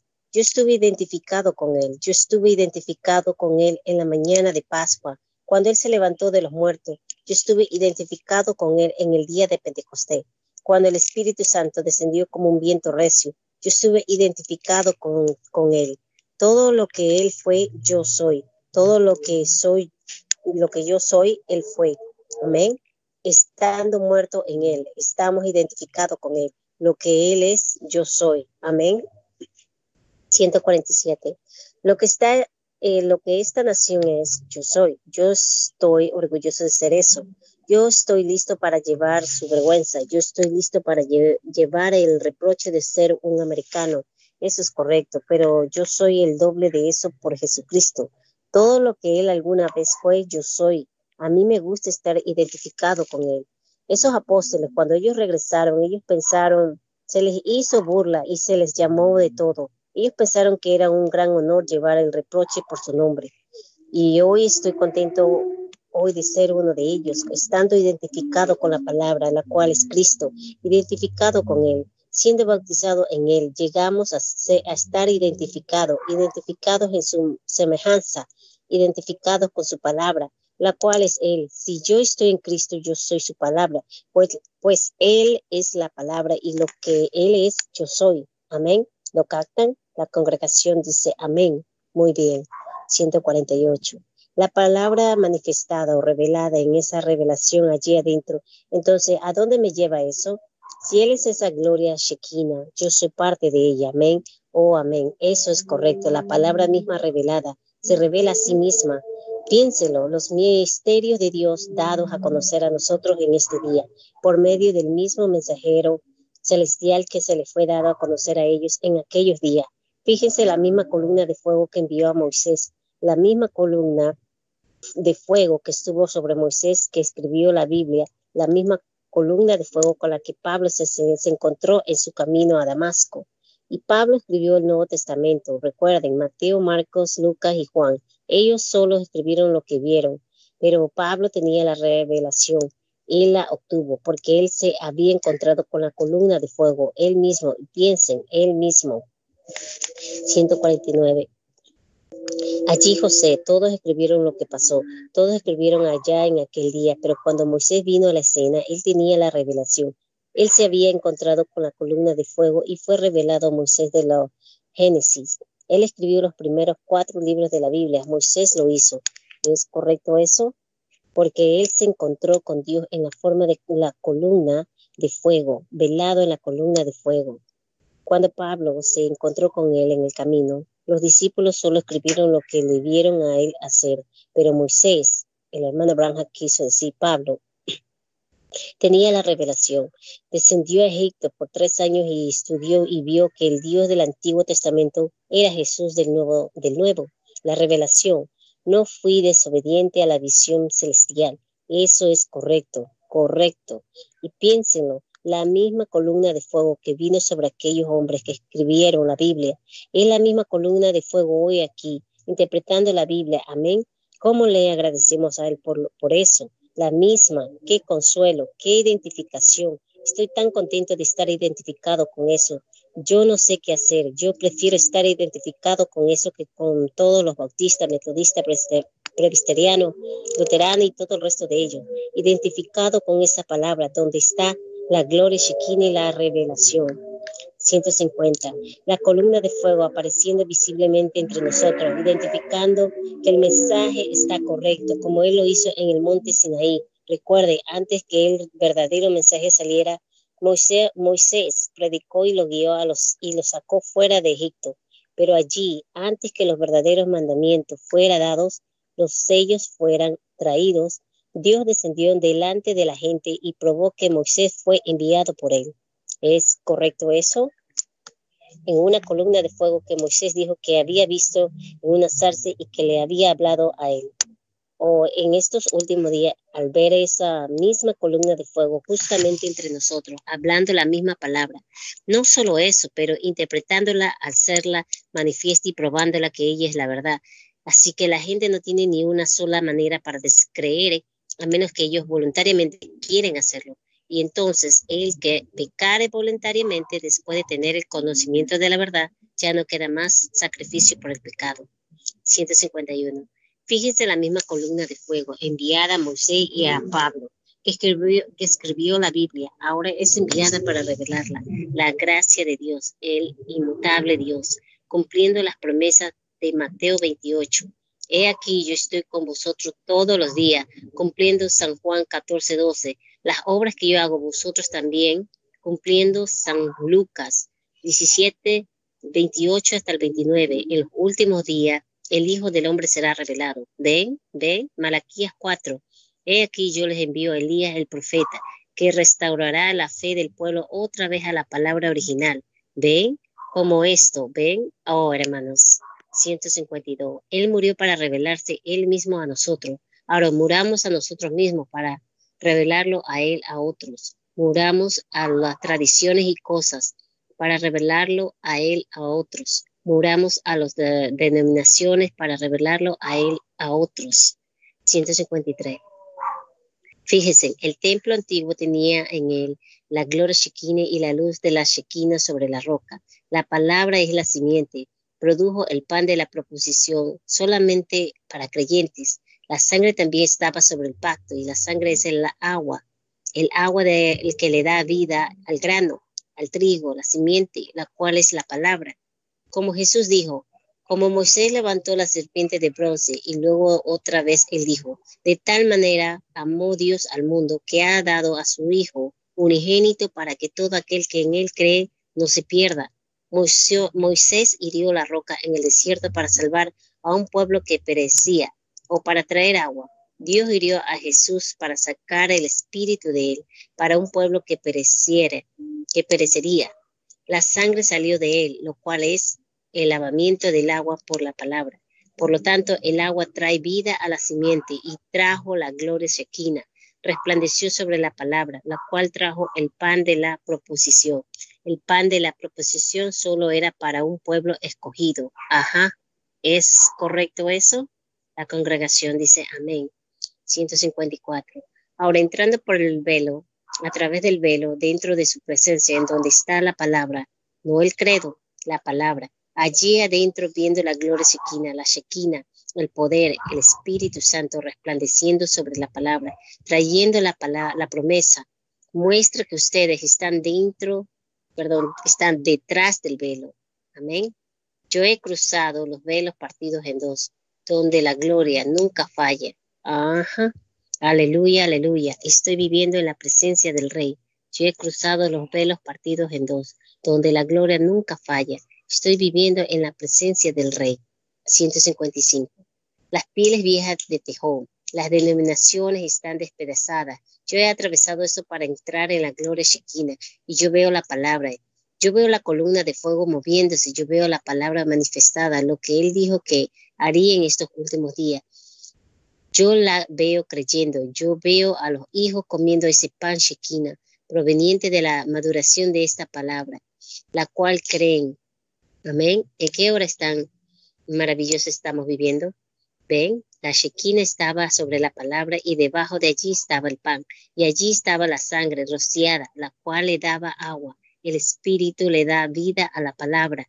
Y él, ¿cuántos leyeron, oyeron la cinta sobre el juicio? Creo que muchos de ustedes la oyeron. Ustedes ven, ven allí, se necesita esa palabra debe crecer. Para crecer, ella tiene que estar en la clase correcta de tierra. ¿Ven? Cuando Dios hace una promesa y ella llega a ese corazón, no puede fallar. Dios le bendiga, hermanos hermanas. Amén, hermana Erika. Dios le bendiga. Continuamos. Mensaje, el develamiento de Dios. Servicio realizado en Jeffersonville, Indiana, Estados Unidos, día 14 de junio del año 1964. Continuando con la lectura en los párrafos 156, dice... Noé esperó 120 años. Abraham esperó 25 años por el hijo. Dios así lo dijo y eso lo concluyó. Ven, ¿qué es? La palabra estaba allí siendo regada por fe, creyéndola. Trajo los resultados. Trajo a un hijo, trajo la lluvia, trajo el diluvio, trajo a la virgen que concibió. Un profeta dijo, una virgen concebirá. Sin duda que cada jovencita fue alistó y la ropa para su bebé. Bueno, este profeta Isaías fue un profeta indicado, identificado, vindicado por Dios. Y el Señor dijo, una virgen concebirá. Yo voy a darles una señal sobrenatural, una gran señal, una virgen concebirá. 157. Allá, toda esa gente, esos creyentes, así como todos ustedes, ellos oyeron a ese profeta decir eso toda jovencita, todo hombre dijo, eso va a ser mi hija. Sí, Señor. Todas fueron y compraron las botitas y los pañales y todo, preparándose porque ellos sabían que ella lo iba a tener. Esa generación pasó y ellos pensaron, ¿y ese profeta identificado, vindicado por Dios, cómo podía decir algo que estuviera errado? Tiene que ser así. Fue 800 años después, pero ella dio a luz al bebé. Cielos y tierra pasarán, pero mi palabra no pasará. 158 el párrafo. Y acontecerá en los postreros días, dice Dios. Ven, aquí estamos. La, la luz sobre la palabra. Como la luz del sol cambia la simiente de gloria en gloria, nosotros también llegamos a ser, llegamos a ser más como Él mientras vivimos en su presencia como Él siendo hechos conforme a su bendita imagen mientras caminamos con Él. Observen lo que el sol hace. Ustedes plantan una semilla. ¿Qué pasa? Esa semilla se pudre. Dentro de la semilla está una vida. La vida sale y produce un tallo. Ahora, eso no parece a lo primero. Ahí está Lutero. Era el tallo. Muy bien. El tallo siguió. Y cuando menos se pensó, produjo la borla Ven, ese fue el avivamiento wesleyano, no fue como el otro. Entonces vino el avivamiento pentecostal. Ven, produjo el bautismo del Espíritu Santo. Muy bien. ¿Qué sucedió? Salieron hongos en la espiga. Comenzó a verse mal. esta cosa, esa cosa no se parece a la palabra, no es como el resto de ella, no es como el grano original que cayó. 159, pero Dios todavía está ahí para hacer eso, eso exactamente. Fíjense, ¿qué hace? Finalmente regresa a la, siguiente, a la simiente original otra vez como él vino en la forma de Martín Lutero, cuando él vino en la forma de Juan Huelde, cuando él vino en la forma de los pentecostales, él mismo debe revelarse otra vez como la misma simiente que cayó, el Hijo del Hombre. Él mismo se reveló como el Hijo de Dios durante la edad del tallo y demás, pero en esta última edad él mismo debe revelarse como el Hijo del Hombre otra vez. Lo captan. La iglesia dice, la congregación dice amén. Muy bien, como al principio, moldeado Párrafo 160. ¿Y qué hace ese tallo crecer? Está creciendo todo el tiempo. Ese pequeño tallo crece, todavía no es como el grano original, ni tampoco le fue el mensaje de Lutero. No, con el tiempo vinieron los, los otros mensajes de Fine y Sanke, no, Calvino, así sucesivamente, ninguno de ellos. Todavía eran el mensaje, pero lo que sucedió fue que ellos no obtuvieron la completa revelación de Él porque no era el tiempo. Ustedes no pueden poner la espiga en el trigo antes que sea el tiempo para que salga. Ven, entonces finalmente así regresa otra vez la simiente original que cayó en la tierra. 161. Ven, Dios obra junto con la naturaleza exactamente. Ven, Él nació un cordero esa es la razón que él nació allá en un pesebre. Los corderos no nacen en camas. Ven, él fue guiado al Calvario. Los corderos, las ovejas son guiadas. Eso es correcto. Los chivos las guían a la matanza. Ustedes saben eso, a un matadero. Un chivo las guía para ellos. Pero ellos tienen que ser guiados. Ah, eso es correcto. Así que él tuvo que ser guiado al matadero. Ven, porque él era un cordero todo lo identificó a él en la naturaleza. Eso es la razón que él nació en marzo, abril, no en diciembre. No podía ser. Hay 20 pies, 6 metros de nieve eh, allá en ese tiempo del año.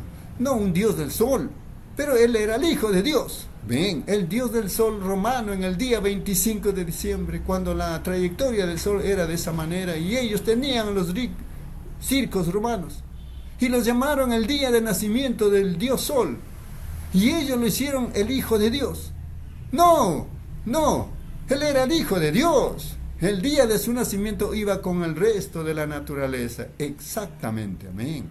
Ahora, fíjense otra vez mientras continuamos. Nos queda un poquito de tiempo. 162 del párrafo. Ahora a lo perfecto. Después que el tallo ha sido formado después que la borla ha sido formada, después que el grano ha, llegado a la mazorca, entonces tiene que llegar a perfección, de regreso al grano regular otra vez. Y recuerden, el grano tiene que ser germinado. Ven, si no, no vivirá. Ven, nadie que no fue parte de esos mensajes vendrá alguna vez a vida. Tiene que ser germinado por eso. Pero recuerden, la misma vida que estuvo en el tallo está en el grano, solo está regresando a madurez. Ven, él mismo se reveló como, como el Hijo del Hombre, el grano que cayó en la tierra. ¿Captan el mensaje? La congregación dice amén. Los griegos le, le dijeron a él, quisiéramos ver a Jesús. Él dijo, si el grano de trigo no cae en la tierra, ven, muy bien. 163 ahora que reveló él mismo después en una forma diferente al tallo y a la borla y demás y todas las hojas y todo. Entonces él mismo se reveló, como Como el mismo espíritu, pero en una forma diferente. Bien, pero ¿qué es lo último de ese grano? Regresar al grano original. ¿Es correcto eso? La congregación dice amén. Y su ministerio regresa de nuevo de esas reformas a la palabra original otra vez la palabra viene a un profeta y él lo prometió en Malaquías 4, restaurar la fe del pueblo de regreso al grano original. Lo mismo que cayó en la tierra está aquí ahora. El grano ha pasado por todo esto aquí y salió como hijo de Dios, ahora se revela a sí mismo aquí como hijo del hombre y luego se revela a sí mismo como hijo de David en el trono. Ven, esos tres hijos exactamente. Oh, oh, hermanos, de nuevo como el original. 164. Ahora, al perfecto ministerio de él mismo, no de algún hombre, no de alguna denominación como ellos han obrado ya a través de Sanad, ven, sino él mismo manifestándose, él mismo se manifiesta para la promesa, probando que San Lucas 17, 28, Malaquías 4 y demás, Hebreos 13, 8, es exactamente lo correcto. En ese tiempo, ¿qué tiempo debería ser? cuando la simiente real de Abraham esté buscando al Hijo prometido. Y todos los tipos deben ser cumplidos. Y Dios mismo se apareció en la forma de un ser humano a la simiente natural de Abraham antes de la destrucción. Y Jesús dijo que sería la misma cosa para esta simiente real antes que el Hijo prometido regresara. Párrafo 165 por último. Fíjense en el antiguo velo que escondía la gloria. Las pieles viejas de tejón. No había hermosura en eso para ser deseado, ni tampoco en su carne. Esa es la razón que la gente dijo, un hombrecito viejo encorvado como ese, probablemente de 30 años y canoso y su barba canosa, no tenía mucho que mirarle. La Biblia dice, sin atractivo para que le deseemos. Él no parecía un rey, la vieja piel de tejón, pero ¡oh, lo que estaba en el interior! Y un pequeño grupito de aleluyas, como ellos los llaman, sentados juntos en un edificio caluroso como este, sin mucho atractivo para ser deseados, pero lo que está en el interior. Estoy seguro que está velado de muchos corazones. ¿Ven ustedes? ¿Ven ustedes? Muy bien. Amén. Continuamos, mis amados hermanos y hermanas compartiendo la lectura de este glorioso mensaje titulado El develamiento de Dios, servicio realizado en Jeffersonville, Indiana, Estados Unidos, del día 14 de junio del año 1964. A continuación, hermana Erika, en los párrafos 166 al 175.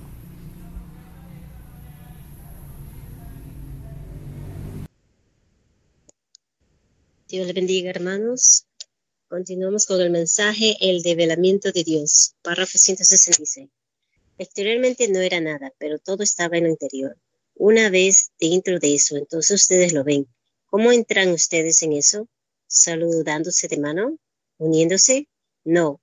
Naciendo eso, en eso, muriendo, deshaciéndose de su vieja piel de tejón. ¿Ve? Su propio yo, para entrar dentro de uno nuevo. ¿Ve? Renuncia a la piel, la vieja piel de tejón. La luz de la chiquina, no, escuchen, ministro, ministro. Yo quiero que ustedes escuchen esto una vez dentro. Ahora yo voy a enseñar esto muy sencillito para que ustedes estén seguros que lo captaron. Una vez dentro del velo, bajo la gloria shequina, la luz de la shequina no toma la palabra de Dios y revela a Jesús siendo un adivino. No, como las denominaciones lo hacen hoy en día, telepatía mental, un aleluya a Belzebú. La gloria shequina no lo revela a él así, pero la gloria shequina madura la simiente que está prometida para esa hora de la palabra, mostrando que él todavía es el lirio del valle. Ella produce esa simiente, el lirio del valle, el pan de vida, el alfa y omega, el mismo ayer y hoy por los siglos. Él es la porción de los creyentes. La gloria shequina le revela al creyente. Él es el mismo ayer y hoy por los siglos. 167. No, los días, Él está en el pasado y Él murió, todo ha terminado. Así que, amigo, si usted cree eso, si usted cree eso, usted nunca ha llegado a la gloria chiquina. ¿Cómo pudiera alguna vez la gloria chiquina revelarlo a Él en tres personas? ¿Ve? ¿Cómo pudiera alguna vez la gloria chiquina revelarlo a Él bautizándose la gente en el nombre del Padre, Hijo y Espíritu Santo cuando nunca hubo una persona en la Biblia bautizada de esa manera? ¿Cómo pudiera la gloria chiquina limitarlo a él, a un apóstol, cuando él es el mismo ayer y hoy por los siglos? ¿Ven? La gloria chiquina lo, manifiesta a él, produce la palabra de promesa directamente a ustedes. Esa es la razón que él tenía que velar el rostro de Moisés, porque en él estaba la palabra. Él veló a Jesús como un hombrecito humilde para impedirle ver a Jehová. Y él mismo se vela hoy en vasos de barro con la shequina. En el interior parece ser un montón de aleluyas en pieles viejas de tejón, pero en el interior se esconde la gloria shequina y ella madura el pan de la proporción proposición con el que nos festejamos y manejamos a través del país por cientos de millas, ¿ven? Es el alimento de los creyentes, es únicamente para un creyente, recuerden, el pan de la proposición era únicamente para el creyente, ¿ven? El pan simiente de la proposición, fíjese, ¿qué es lo que hace? Esa gloria chiquina sobre el pan de la proposición no dejaba que se echara a perder. 168. Recuerden, el, maná que vino del cielo permanecía en la gloria chiquina de una generación a otra. Afuera criaba gusanos de la noche a la mañana, se contaminaba. ¿Es correcto eso? La congregación dice amén. Afuera de la gloria chiquina, los días de los milagros ya pasaron, ¿ven? Todo es fanatismo, pero adentro, 169. Miren, ellos cogieron algunas semillas de girasol de un granero en Egipto que fueron puestas allí en los días de José hace cuatro mil años casi. José las puso en el granero, las plantaron, ellas vivieron, porque ellas tenían vida. 170. ¿Qué es esta gloria chiquina hoy en día? Es entrar más allá del velo para ver que Dios está parado delante de ustedes, ver que Dios está parado aquí delante de nosotros, la columna de fuego. Él está velado en carne humana, pero ¿qué hace la chiquina? ¿Qué hizo ella? El pan simiente de la proposición, la palabra de la cual debemos vivir en este día, por medio de estas promesas, la gloria de, la Shekinah madura, ese pan de la proposición, la trae a cumplimiento, lo hace pan para el creyente, eso que estaba en la página de la Biblia año tras año, la palabra para esta edad. Para las denominaciones es una piedra de tropiezo, para las denominaciones ellas, ellas tropiezan ahí en ella, a través de los años, Lutero, Wesley, Martín, Lutero y todos, Sankey, Finney y John Smith, Knox, todos tropezaron en ella. 171. Pero, ¿qué es lo que debe suceder en los últimos días? ¿Qué es revelar? Traer a manifestación. ¿Qué debe hacer Malaquías 4? Apartar al pueblo de esa piedra de tropiezo, derribar las tradiciones y revelar el pan con la gloria shequina. Observan madurar y producir exactamente lo que ella dijo que haría. Oh, hermanos, el pan de la proposición para esta edad, para la denominación, una piedra de tropiezo, un montón de fanáticos, pero para nosotros lo que creemos, pero ahora, como Apocalipsis día ha prometido, todos los ministerios, los misterios de Dios que habían estado escondidos en las páginas a través de esos años, serían madurados, sacados a la luz en la edad del mensaje del séptimo ángel. ¿Es correcto eso? La congregación dice amén. ¿Qué dijo él hace un año y seis meses? Hace como dos años. Ve a Tuxa, estarás al norte de Tuxa. Habrá una gran explosión y lo que acontecería los sellos serían abiertos, los sellos que revelan estas cosas, regresé. Regresé así como él dijo. ¿Qué es? Muestra que no puede ser un hombre. Eso da en el blanco perfectamente, exactamente, cada vez.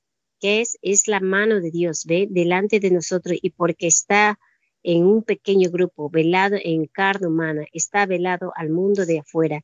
Él está escondido del mundo de afuera. Él mismo se está revelando niños que quiere aprender. ¿Ven? Eso es correcto. 173. Toda. ¿Ven? Toda parábola de la Biblia, todo tipo de la Biblia es hecho manifiesto aquí mismo delante de nosotros. El mismo Dios en la columna de fuego que escribió la Biblia ambos en el Antiguo Testamento y Nuevo Testamento. Está aquí manifestándola, mostrando exactamente lo que fue, interpretándola de nuevo y asegurándola que es la interpretación. Nosotros tenemos la interpretación. Entonces, veámoslos acontecer. ¿Ven? Eso es, veámoslos manifestado. Manifestado. Jesús dijo, si no hago las obras de mi Padre, no me creáis. ¿Ven?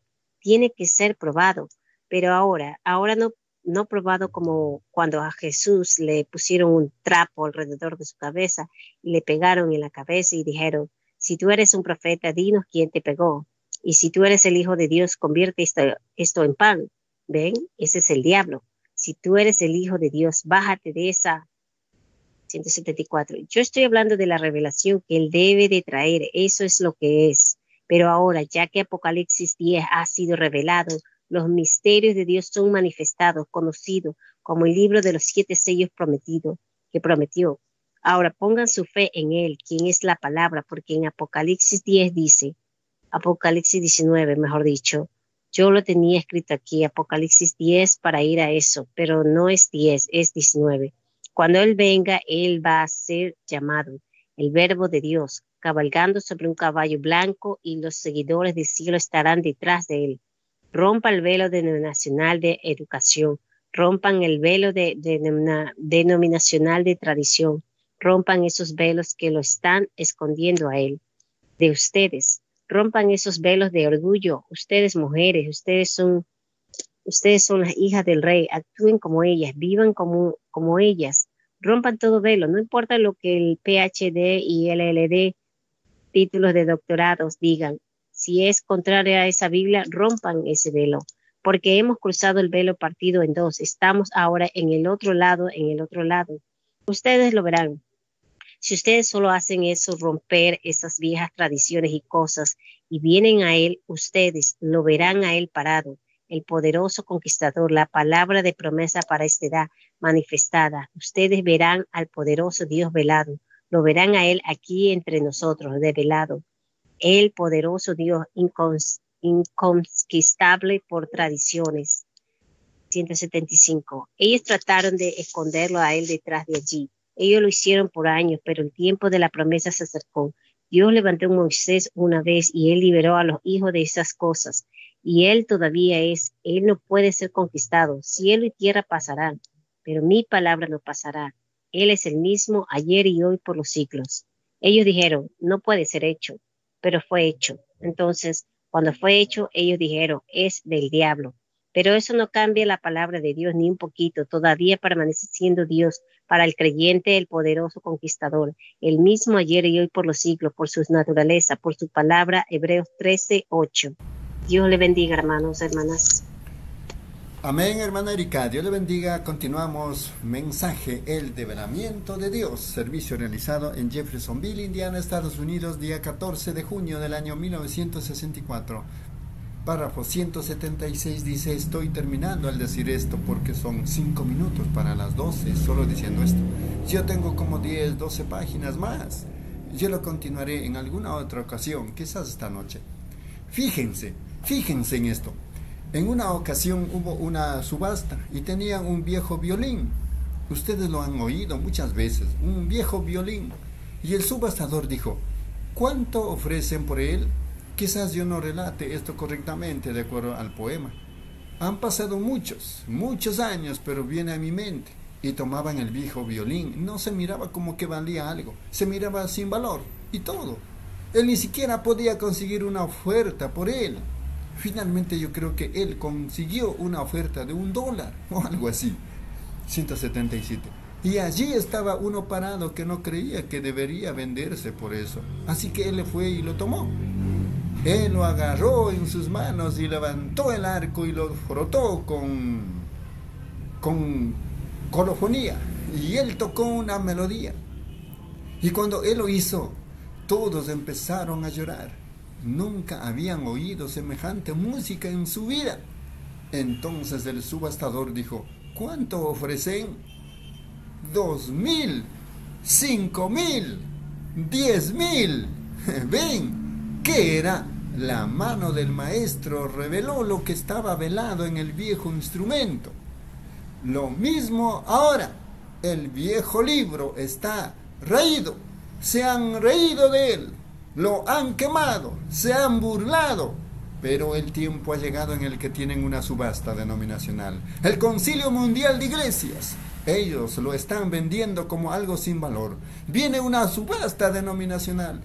178. Pero recuerden, hay algo en el viejo libro que prometió que habría una mano predestinada, una mano ordenada que un día vendría y que lo tomaría y haría con la palabra de este libro por medio de un corazón predestinado, la obra por la cual ella ha sido destinada y revelaría las promesas que están en él. Pudiera mirarse, oh, como un montón de aleluyas o alguna u otra cosa, pero solo requieren la mano del maestro, la palabra en él para revelar esa palabra y llega a ser más que un aleluya. Ha llegado a ser eso para cada uno de nosotros. ¿No es así, amigos? No es un montón de fanatismo, depende de la mano en la que el arco esté. Oremos. para 179. Nuestro Padre Celestial, por fe yo veo hoy maestro del viejo libro, al que ellos han intercambiado por tradiciones, lo intercambiaron por denominaciones, trataron de negociarlo, ahora lo están negociando con un concilio mundial de hombres, de iglesias, comunistas, ateístas. La subasta está aconteciendo, Señor. Dios, ven a la escena. Seguramente tú lo harás. Envíanos a ese profeta, Señor, que levante ese arco, que levante esta palabra y pruebe que Jesucristo es el mismo ayer, hoy y por los siglos. Muchos, Señor, vendrán sus vidas, echarán fuera las viejas tradiciones, romperán los velos. Ellos lo quieren, Señor. Darán cualquier cosa, cualquier cosa, solamente denles a Jesús. Señor, yo creo que tú se los has probado a ellos ahora. Vienen de todas partes, gastan el dinero que necesitan para vivir, hacen todo para tratar de llegar a las reuniones, hacen todo lo que pueden porque han encontrado esa perla de gran precio. Las otras cosas son muy pequeñas. Bendícelos, Padre. Colocados sobre este púlpito esta mañana, Señor, están pañuelos. Quizás algunos de ellos tendrán que salir hoy, antes del servicio de sanidad esta noche. Oh Dios eterno, mira hacia abajo. Yo sé que tú estás aquí, tú estás velado. Y estoy enviando estos pequeños velos, Señor, llamados pañuelos, y pequeños delantales, y pequeñas botitas para pequeños bebés.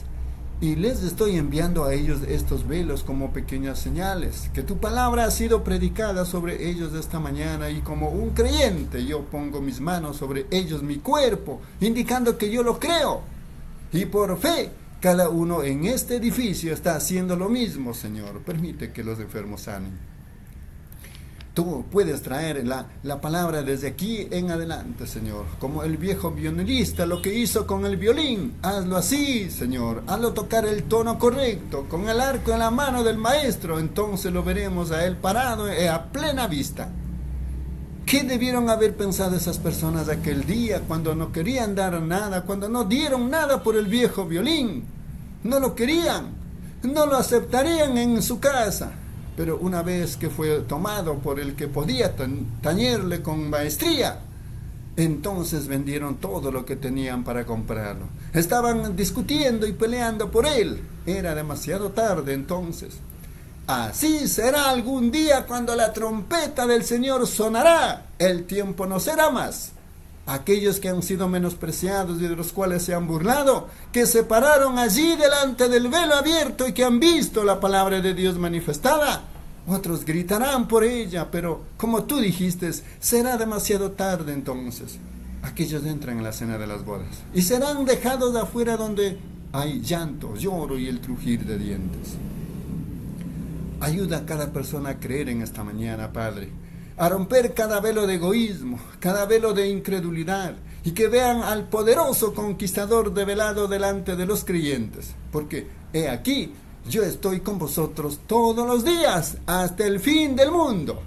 Todavía un poco y el mundo no me verá más, pero vosotros me veréis. Muéstrame tú mismo entre nosotros, Señor, como tú lo has estado haciendo siempre permanece de esa manera hasta que estemos visiblemente delante de ti cuando en el morfe ha sido cambiado y tú llegas a ser otra vez el Hijo del Hombre, el Hijo de David.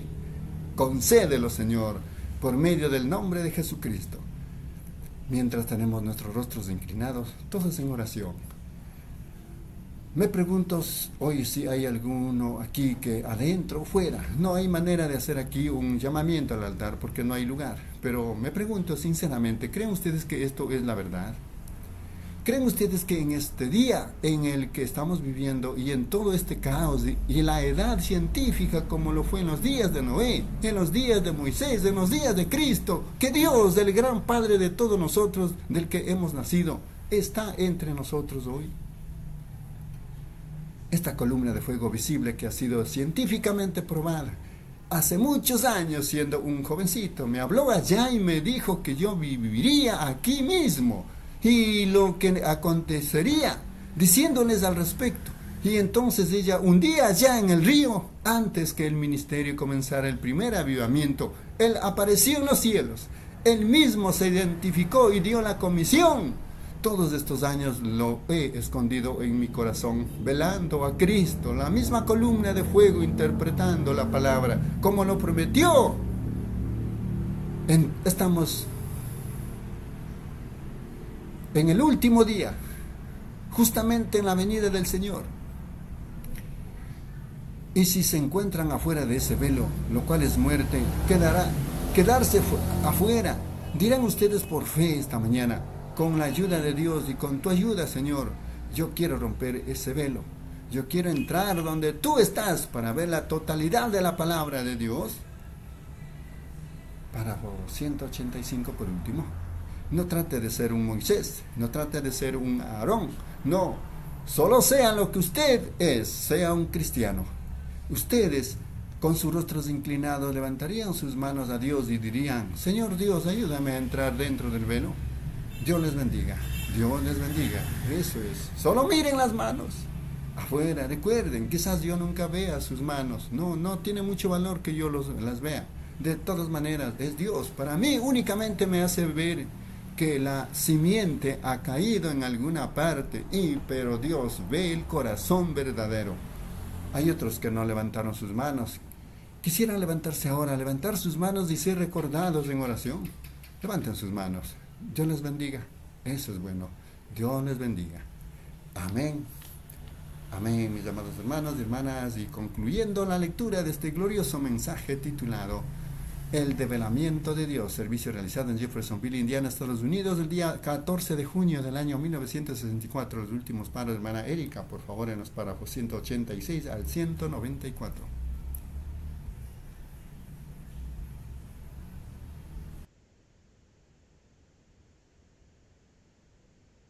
Dios le bendiga, hermanos hermanas. Continuamos con el mensaje, el develamiento de Dios. Párrafo 86. Padre, rogamos hoy por estos, Señor, que todavía no han atravesado ese velo. Ellos están parados allá afuera como Israel. Ellos están observando, ellos creen, pero nunca han entrado en eso todavía para ver esa gran luz de la Shakina, físicamente y espiritualmente tanto que el ojo mecánico de la cámara sigue tomando la fotografía. Hace solo dos semanas la captó de nuevo. Tú misma te estás revelando, Señor, el poderoso Dios develado al creyente. Todavía velado del incrédulo, pero develado al creyente. Permite que ellos se abran paso hoy, Señor. Vean su gran esplendor y gloria. Permite que sus corazones sean cambiados aún antes de que regresemos a esta iglesia en esta noche. Permite que todos sean llenos con tu espíritu, tu presencia. Permite que el Maestro tome esa fe que ellos han recibido, la taña por toda la palabra. Permite que el tono vuelva. Ustedes han sido ordenados desde antes de la fundación del mundo para creer esto. Cree, hijo mío, y sé salvo. 187. Padre Dios, los encomendamos en tus manos ahora dándonos cuenta que no hay nada más que podamos hacer. Todo está en ti ahora, Padre. Yo te doy a ti en el nombre de Jesucristo, tu Hijo. Amén. Yo le amo, yo le amo, porque a mí me amó y me compró mi salvación allá en la cruz. ¿Le aman ustedes? La congregación dice amén. Maravilloso, maravilloso, Jesús es para mí. Consejero, príncipe de paz, Dios poderoso es Él. Él me salva, me guarda de todo pecado y vergüenza. Maravilloso es mi redentor, alabado sea su nombre. Una vez estuve perdido, ahora soy salvo, libre de condenación. Jesús da libertad y una salvación completa. Él me salva, me guarda de todo pecado y vergüenza. Maravilloso es mi redentor, alabado sea su nombre. Oh, maravilloso, maravilloso Jesús para mí. Consejero, el príncipe de paz. Dios poderoso es Él. Oh, Él me salva, me guarda de todo pecado y vergüenza. Maravilloso es mi redentor, alabado sea su nombre. 188. ¿Cuántos lo ven a él parado, el poderoso conquistador, la palabra hecha carne, develado delante de nosotros, el alfa, el omega, el que era, el que es y el que vendrá, la raíz y el linaje de David? Era el hijo del hombre, él, él el hijo de Dios, el hijo de, del hombre y será el hijo de David. Lo creen con todo su corazón. La congregación dice amén. El mismo develándose en cada edad, traído al creyente. El mismo velándose del incrédulo en carne humana. Él está escondido detrás de un velo. Que Dios rompa todo velo y lo veamos a Él como Él es. Jesús rompe toda cadena. Jesús rompe toda cadena. Oh Jesús rompe toda cadena. Cuando Él te libera a ti del Jordán al otro lado en los dulces campos del Edén, donde florece el árbol de vida. Hay descanso para mí, mi Jesús rompe. ¿No quieren cruzar ahora el Jordán? ¿No han estado ya bastante en el desierto? Vayamos al otro lado a las promesas. Jesús rompe toda cadena, Jesús rompe toda cadena. Oh, cuando te libere a ti, levantemos nuestras manos ahora. Siempre, siempre te alabaré, siempre, siempre te alabaré, siempre, siempre te alabaré porque Él me libertó. Amén. 189. ¿No los hace eso sentirse bien? La congregación dice amén. Oh, cuán maravilloso, cuán maravilloso. ¿No es Él entonces? Saludemos de mano los unos con los otros diciendo, Jesús rompe toda cadena, Jesús rompe toda cadena. Oh, Jesús rompe toda cadena. Dios le bendiga, hermano. Oh, y Él te libera a ti. Siempre, siempre te alabaré, el Dios Todopoderoso siempre, el mismo ayer, hoy, por los siglos, solo cambió su forma. Te alabaré, siempre, siempre te alabaré, porque Él quitó todos los credos de mí, me, para creer su palabra. 190. O no pueden oír el violín del maestro pasar, el arco pasando por esta palabra. Él es el mismo ayer y hoy. Siempre, siempre le alabaré, siempre, siempre le alabaré siempre Él, la palabra, siempre, siempre le alabaré. ¿Qué hizo Él? Porque Él detrás de la cortina me liberó.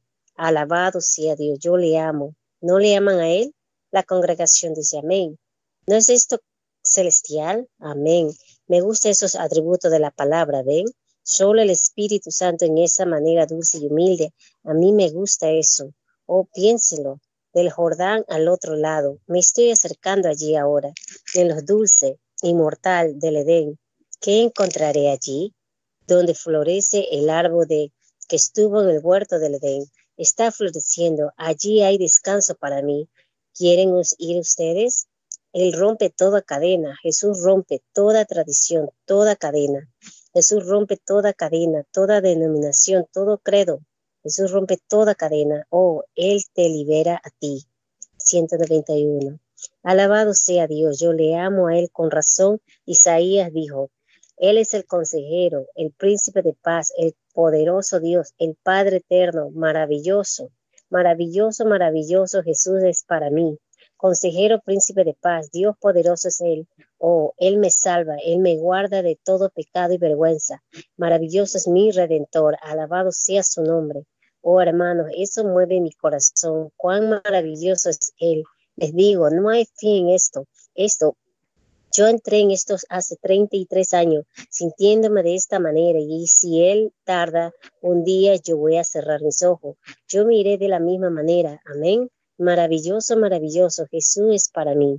Consejero, príncipe de paz, Dios poderoso es Él. Él me salva, Él me guarda de todo pecado y vergüenza. Maravilloso es mi redentor, alabado sea su nombre. 192. Yo pudiera quedarme aquí el resto del día en eso. Pablo dijo, si yo canto, yo cantaré en el espíritu. Ajá. Si yo predico, yo predicaré en el espíritu. Si yo ando, andaré en el espíritu. Si yo hablo, hablaré en el Espíritu, que todo sea hecho por medio de la palabra y el Espíritu. Sí, Señor. Amén. Todo es la verdad de Dios. Y yo, y yo lo veo a Él, el poderoso Dios, develado, y lo veo a Él apartar los credos, las denominaciones, apartar a los escépticos, los programas educativos y todo, caminar, pararse allí. ¿Piensan ustedes que los credos podrían conquistarlo a Él?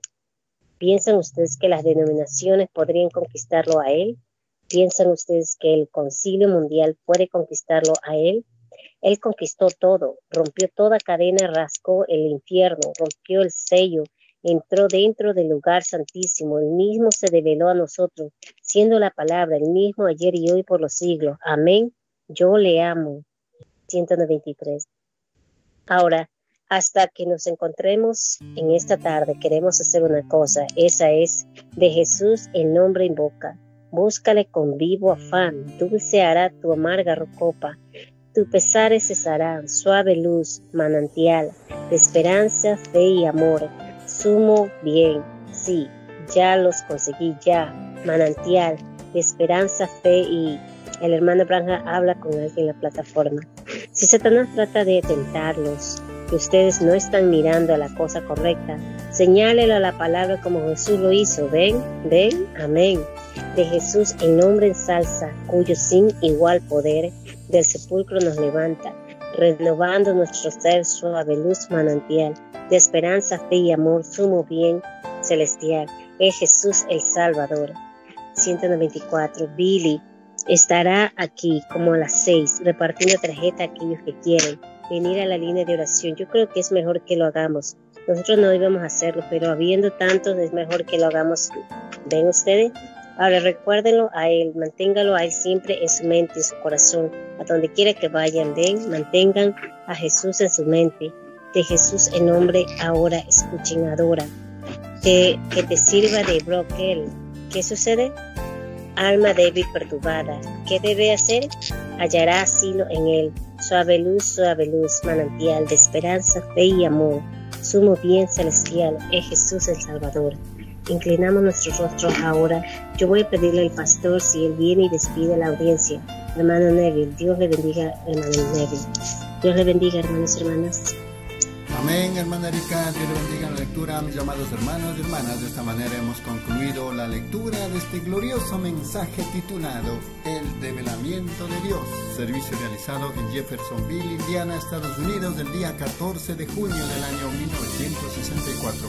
Que quede guardado en cada uno de vuestros corazones. Que el Señor Jesucristo los bendiga.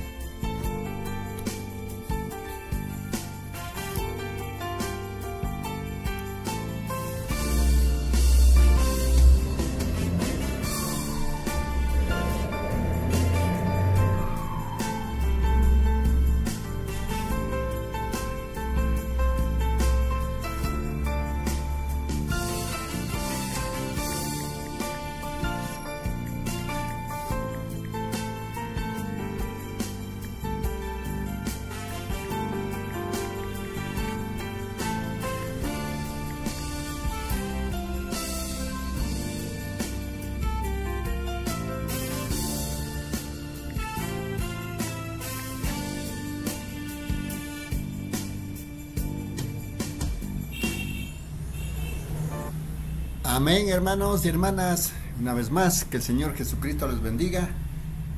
Es realmente para nosotros de gran privilegio el continuar y tener este compañerismo y lecturar estos gloriosos mensajes de nuestro profeta Elías. Siguiendo el orden cronológico de la lectura de estos mensajes, nuestro siguiente mensaje a ser lecturado en esta tarde y noche se titula Mensaje el Raro también predicado en Jeffersonville, Indiana, Estados Unidos, el día 14 de junio del año 1964. Es el mismo día, pero este ya es en la noche. Iniciamos la lectura, mucha honra, párrafos 1. Dice, permanezcamos de pie por un momento, precioso Señor. Venimos de nuevo a tu divina presencia por medio de la oración. Primeramente para dar gracias por todo lo que has hecho por nosotros y por el gran amor en nuestros corazones por ti y tu palabra. Señor, esta noche estas personas a las que amo con todo mi corazón se han sacrificado y han venido a sentarse en un auditorio caliente y demás por, porque aman tu palabra. Y venimos para orar por los enfermos esta noche, Señor, y por los necesitados, que no haya ni una persona débil entre nosotros al final de este servicio. Recompénsalos por su fidelidad, Señor Háblanos a través de tu palabra y fortalécenos, Señor, al irnos llevando el vituperio. ¡Qué privilegio el hacer esto! Lo pedimos en el nombre de Jesús. Amén. Pueden sentarse. Párrafo 2. No podría encontrar palabras, por supuesto, para expresar mi gratitud a un grupo de personas como este que vienen y se sienten en este edificio. Quiero decir que mañana vamos a ir allá a Topeka, Kansas, para las siguientes reuniones. Y eso terminará el siguiente domingo y luego de allí vamos a Finlandia. Y ahora debemos ir a ultramar, a Kenia y Tanganica y Uganda, a las, las tribus de allí. Y ahora hay una sublevación de los Maus. No puedo entrar como misionero, pero voy a entrar, voy a tratar de entrar como cazador. Voy a ir y están preparando todo. Normalmente yo entro como misionero y salgo de cacería. Esta vez voy como que voy a de cacería y seré un misionero. Así que allí, allí, cualquier manera de entrar allí para llegar a ellos. Y el hermano Matson vos está entonces trabajando, tratando de lograr que yo entre, preparando un safari, safari en el cual yo participe para ir de cacería. Pues luego yo participo en este safari, entonces él va a decir, nuestro hermano Branham está en el país, va a ir a la embajada. Estaría bien si tuviéramos una pequeña reunión acá. Ven, entonces eso hace que la cosa comience y hacemos que continúe. Así que no sabemos si va a suceder, si vamos a poder hacer eso o no. Estamos tratando y, y lo he pedido al Señor que si algo sucede, que Él no lo logre entonces será una señal para mí de que debo venir aquí a Jeffersonville y predicar las siete trompetas, como en julio o agosto, por allí, por ese tiempo. Párrafo 3. Y luego, si lo hacemos, estamos viendo hoy, vamos a tratar de conseguir este salón de clases acá en eh, eh, que tenía aire acondicionado, porque sería muy agradable y fresco. Se pueden sentar de 1500 a 1800 personas y tiene aire acondicionado. Es un lugar nuevecito solo como a cinco cuadras de aquí. Y en una ocasión lo solicitamos y no querían permitirnos usarlo. Y el hombre que no nos permitía usarlo fue echado de la junta.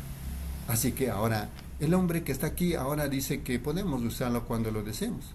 Así que estamos, estamos, estamos muy contentos de conseguirlo. Y así que quizás podamos conseguirlo ahora en algún momento, en julio, y tener...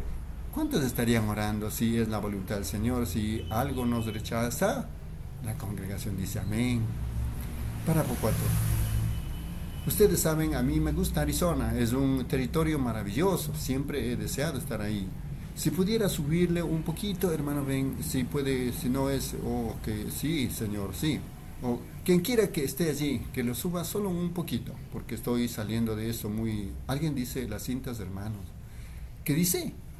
Eso solo son las cintas, o solo las cintas, o aquí está el otro, acá arriba, lo siento, está bien hermano, ven, así que yo, regresar de Arizona, regresar aquí me pone un poquito ronco por el cambio de clima. Aquí tenemos como de 87 a 90 y algunas veces 100% de humedad, y allá llega a cero, y luego algunas veces como promedio, la veinteava parte de 1% uno simplemente está viviendo bajo una cámara de oxígeno. Y luego salir de eso para venir acá, ustedes saben la enorme diferencia que hace en uno. Así que si lo, le molesta a uno en la voz y demás, póngalo en donde estaba, si puede. Bien, hermano. Yo cometí un error al jalarlo hacia afuera. Pensé que era ese, pero este es el al que le subieron. Párrafo 5. Ahora, oren por nosotros, cada uno de ustedes. Yo en verdad los aprecio. Billy me estaba diciendo que alguien nos trajo una canasta de duraznos y pequeños regalos que ustedes no les puedo agradecer lo suficiente. Yo, yo no sé cómo hacerlo. Y yo, yo me siento tan indigno de aceptar eh, cosas como esas de ustedes. Yo ruego que Dios los bendiga. Y yo sé que Él lo hará. Pues Él dijo, por cuanto lo hiciste al más pequeño de estos, a mí lo hicisteis. Y Dios los va a bendecir, estoy seguro. Y siendo Arizona un estado tan agradable, hay una cosa que extraño, eso es todos, a todos ustedes, eso es correcto. Los extraño a todos ustedes, no, no importa a dónde vaya, yo, yo, no son, no son ustedes. Tengo amigos en todas partes alrededor del mundo, pero no, no son, no son ustedes hay algo sobre este pequeño grupo que solo, yo no sé, yo pienso en ellos. Y en Tucson es una ciudad turística, ustedes saben, y las iglesias están jalando, ustedes saben, es un poco difícil, no son muy espirituales. Y porque hay competencia, es muy duro y lo hacen difícil. Si yo los pudiera tener a todos ustedes, además de la iglesia, y entonces vivir allá, creo que todo estaría bien, bien. Pero yo supongo que mientras esta siga siendo una iglesia y todos ustedes sigan viniendo, yo todavía estaré aquí hasta que Jesús venga para vosotros. Así que oren por mí, como les dije hace un rato. No es mi intención repetirlo, pero cuando estoy ante ustedes me, eh, y sentimental y también temperamental. Yo soy así para comenzar, así que me hace pedazos por dentro. Pero al saber que a donde quiera que yo pueda ir, no tengo un, un grupo en la tierra del cual yo sepa que se queda a mi lado como este grupo. Que, que Dios nos permita ser tan inseparables, que en el reino que ha de venir, que podamos estar allí juntos, es mi oración. Estuve sentado aquí junto a la puerta hablando con Billy Dowes hace un momento antes de guiar a alguien de nuevo a Cristo en el otro cuarto. Pero estando allí sentado hablando con él, de 91 años de edad, él dijo, me, estoy debilitando, mis ojos no son como deberían de ser. Yo pienso hace un par de años, yo vine a él cuando tuvo una falla cardíaca aguda y bloqueo cardíaco, se estaba muriendo. Y el mismo doctor que lo estaba atendiendo, que dijo que no podía recuperarse, el doctor está muerto. Y aquí está sentado Billy Dawes, ven, de 91 años de edad. Yo dije, Billy, usted ya no es útil en la tierra en cuanto a trabajo y cosas como esas. Pero estoy pidiendo esto, que Dios le dé fortaleza, porque usted ama las reuniones tanto. Ese hombre de 91 años de edad cruza la nación en un automóvil, esté caliente, seco, frío, haya indiferencia, cualquier cosa que sea, para oír la palabra. Que Dios bendiga esa valiente alma. Ahora yo no he tengo una disculpa más por haberlos retenido, así como lo hice esta mañana, por tres horas. Y no lo hice justicia al mensaje, porque lo corté y dejé parte de él, y omití parte de él. Y demás, por esa razón les dije que retuvieran la cinta, dejen que lo hable de nuevo en alguna parte donde esté fresco o algo. Y yo, y yo podía sentir el espíritu, pero los veo a ustedes y sabiendo que se están abanicando y sabiendo que tienen calor y eso me hace pedazos. Yo no quiero que sufran. Yo, yo deseo que estén cómodos, ven, y eso me agota. Por ejemplo, si veo gente enferma, si no puedo, si no puedo sentir por esas personas enfermas, no les puedo hacer un bien. Tengo, tengo que sentir por ellos. Y de la misma manera con, ustedes, tengo, tengo que sentir por ustedes, o no puedo ser su hermano. Ven, tengo, tengo que sentir por ustedes y yo lo hago. Dios sabe que eso es verdad. Párrafo 8. Y ahora, esta noche voy a orar por los enfermos. Yo quiero el hombre, y gracias a Dios por estos hombres, y al hermano Colin y Heikerson, al hermano Neville, al hermano Cobb a los síndicos y a todos por los buenos reportes que han estado llegando de cómo están estableciendo la iglesia ordenadamente y cómo todo está ha estado llegando a su posición correcta. Estoy agradecido a ustedes, hombres. El Señor los bendiga por tratar de mantener un orden. Y carta tras carta me llega a Tucson. Hermano Branham, ya no es como solía ser. Es tan diferente, una sensación tan bendita de la presencia de Dios. Y yo estoy, estoy agradecido por eso. El Señor los bendiga siempre. Párrafo nuevo. Entonces, ahora esta noche yo pienso, perdón, yo estaba leyendo aquí en las escrituras un lugarcito para, para quizás decir algunas palabras, para hablar y leer una escritura, y luego quizás un par de escrituras, luego hablarles por unos momentos y luego orar por los enfermos. Nada más va a ser por unos momentos. Estoy vigilando el reloj y trataré de hacerlo tan rápido como sea posible. Pero yo sí creo que cuando uno, una multitud de personas están reunidas sin leer la palabra o hacer algo, alguna exhortación, la reunión no sería completa. Y muchos de ustedes han esperado, muchos de ustedes tienen millas que viajar aún esta noche. ¿Cómo admiro eso? ¿Cómo miro y veo a cada uno y pienso acerca de allá en Arizona yo pienso, ¿cómo lo vea él de nuevo? Voy a caminar hasta él y estrecharé su mano y lo abrazaré. Y aquí están sentados. ¿Y a quién? ¿Cómo podría? Ustedes saben, no sé con cuál comenzar y cuál, cómo salirme de eso, pero sí, yo los amo también, Dios los ama. Párrafo 10 por último. Ahora pienso, si no estoy equivocado, si no tengo la, la escritura equivocada, Pues aquí deseo leer de Primera de Corintios el capítulo 1 comenzando con el versículo 18 y también leer Segunda de Corintios 12, 11 para tomar un texto. Ahora si puedo encontrarlas rápidamente y luego leerlos y luego oraremos para quedarnos allí hablándoles por unos momentos sobre un pequeño tema. En Primera de Corintios del capítulo 1 comenzando con el versículo 18. Porque la palabra de la cruz es locura a los que se pierden pero para los que se salvan, esto es a nosotros, es poder de Dios. Pues está escrito, destruiré la sabiduría de los sabios y desecharé el entendimiento de los entendidos. ¿Dónde está el sabio? ¿Dónde está el escriba? ¿Dónde está el disputador de este siglo? ¿No ha enloquecido Dios la sabiduría del mundo? ¿Puedo citar eso de nuevo? No ha enloquecido Dios la sabiduría del mundo, entonces, ¿cuál es la sabiduría de este mundo? Locura. ¿No ha vuelto locura Dios la sabiduría de este mundo?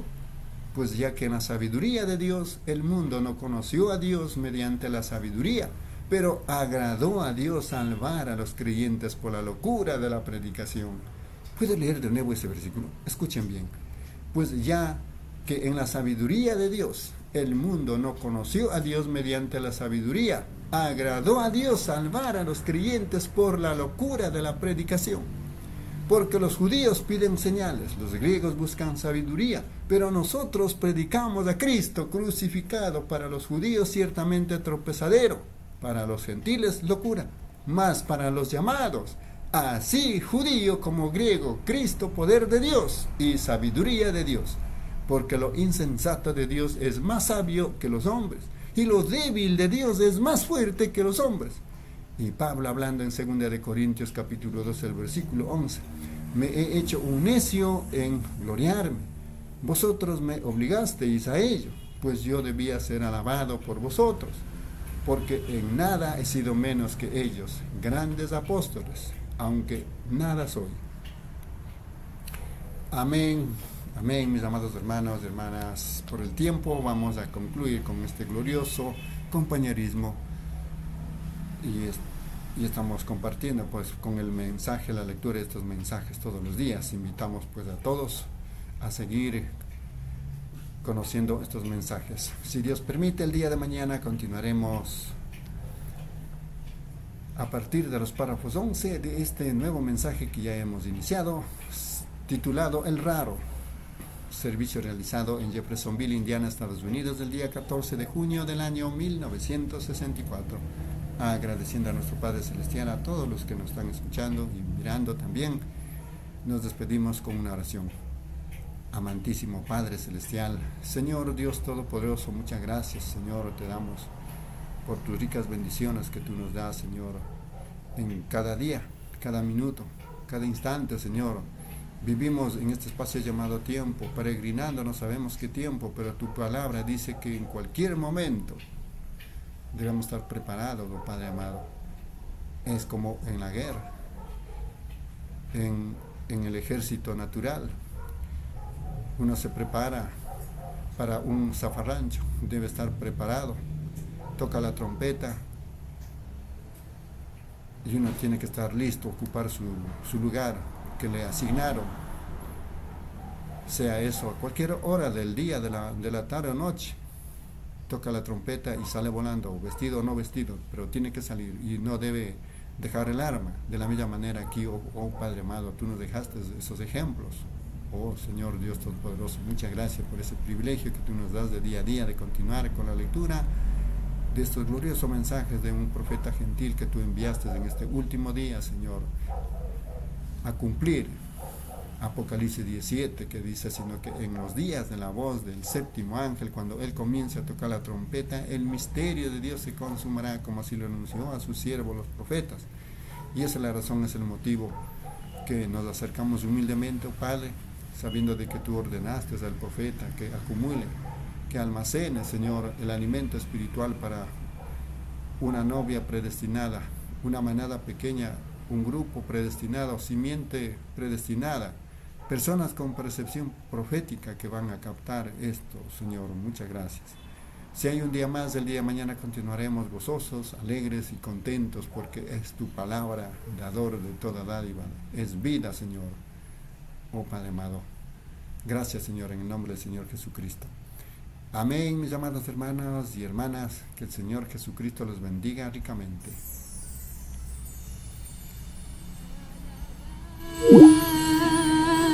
Jehová, porque Él es bueno, porque para siempre es su misericordia.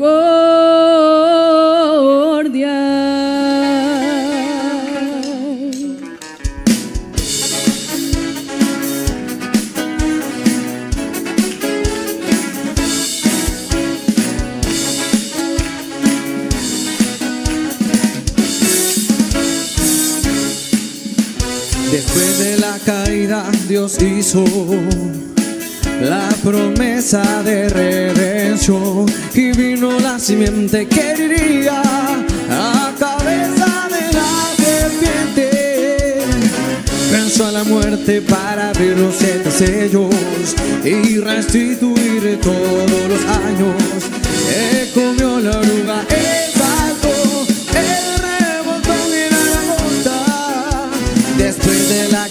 Caída Dios hizo la promesa de redención y vino la simiente que diría a la cabeza de la serpiente. Venció a la muerte para abrir los siete sellos y restituir todos los años que comió la oruga.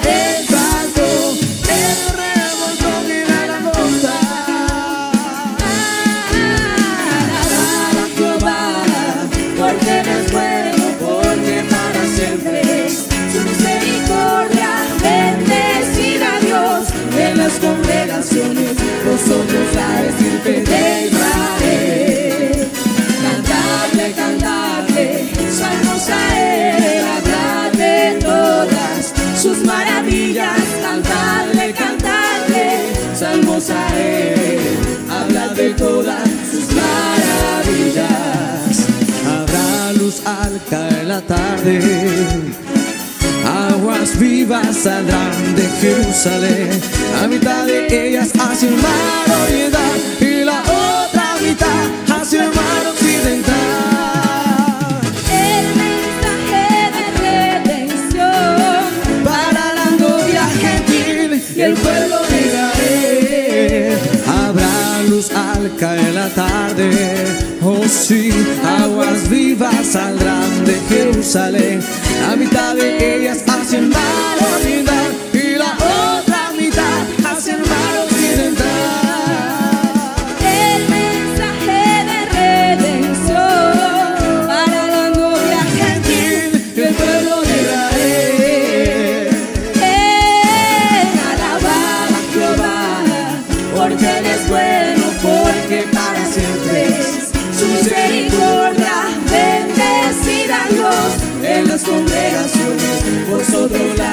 de Israel. Cantadle, cantadle, salmos a Él, hablad de todas sus maravillas. Cantadle, cantadle, salmos a Él, habla de todas sus maravillas.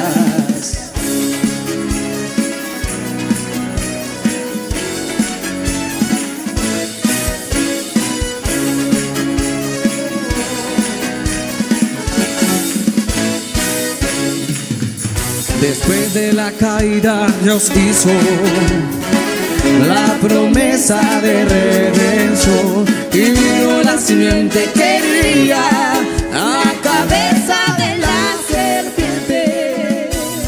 Venció a la muerte para abrir los siete sellos y restituir todos los años que comió la oruga. El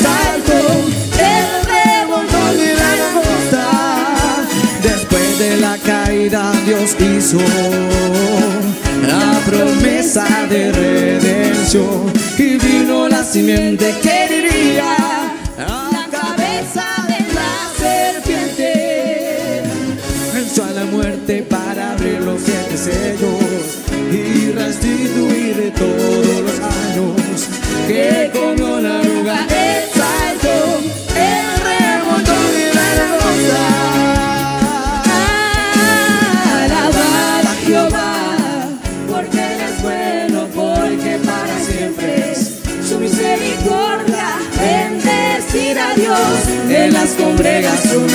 vosotros la estirpe de Israel.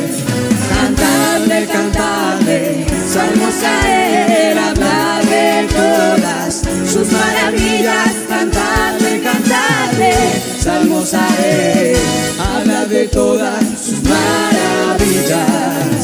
Habrá luz al caer la tarde. Aguas vivas saldrán de Jerusalén, la mitad de ellas hacia el mar oriental y la otra mitad hacia el mar occidental. el mensaje de redención. Para la novia gentil y el pueblo de Israel, habrá luz al caer la tarde. Aguas vivas saldrán de Jerusalén, la mitad de ellas hacia el mar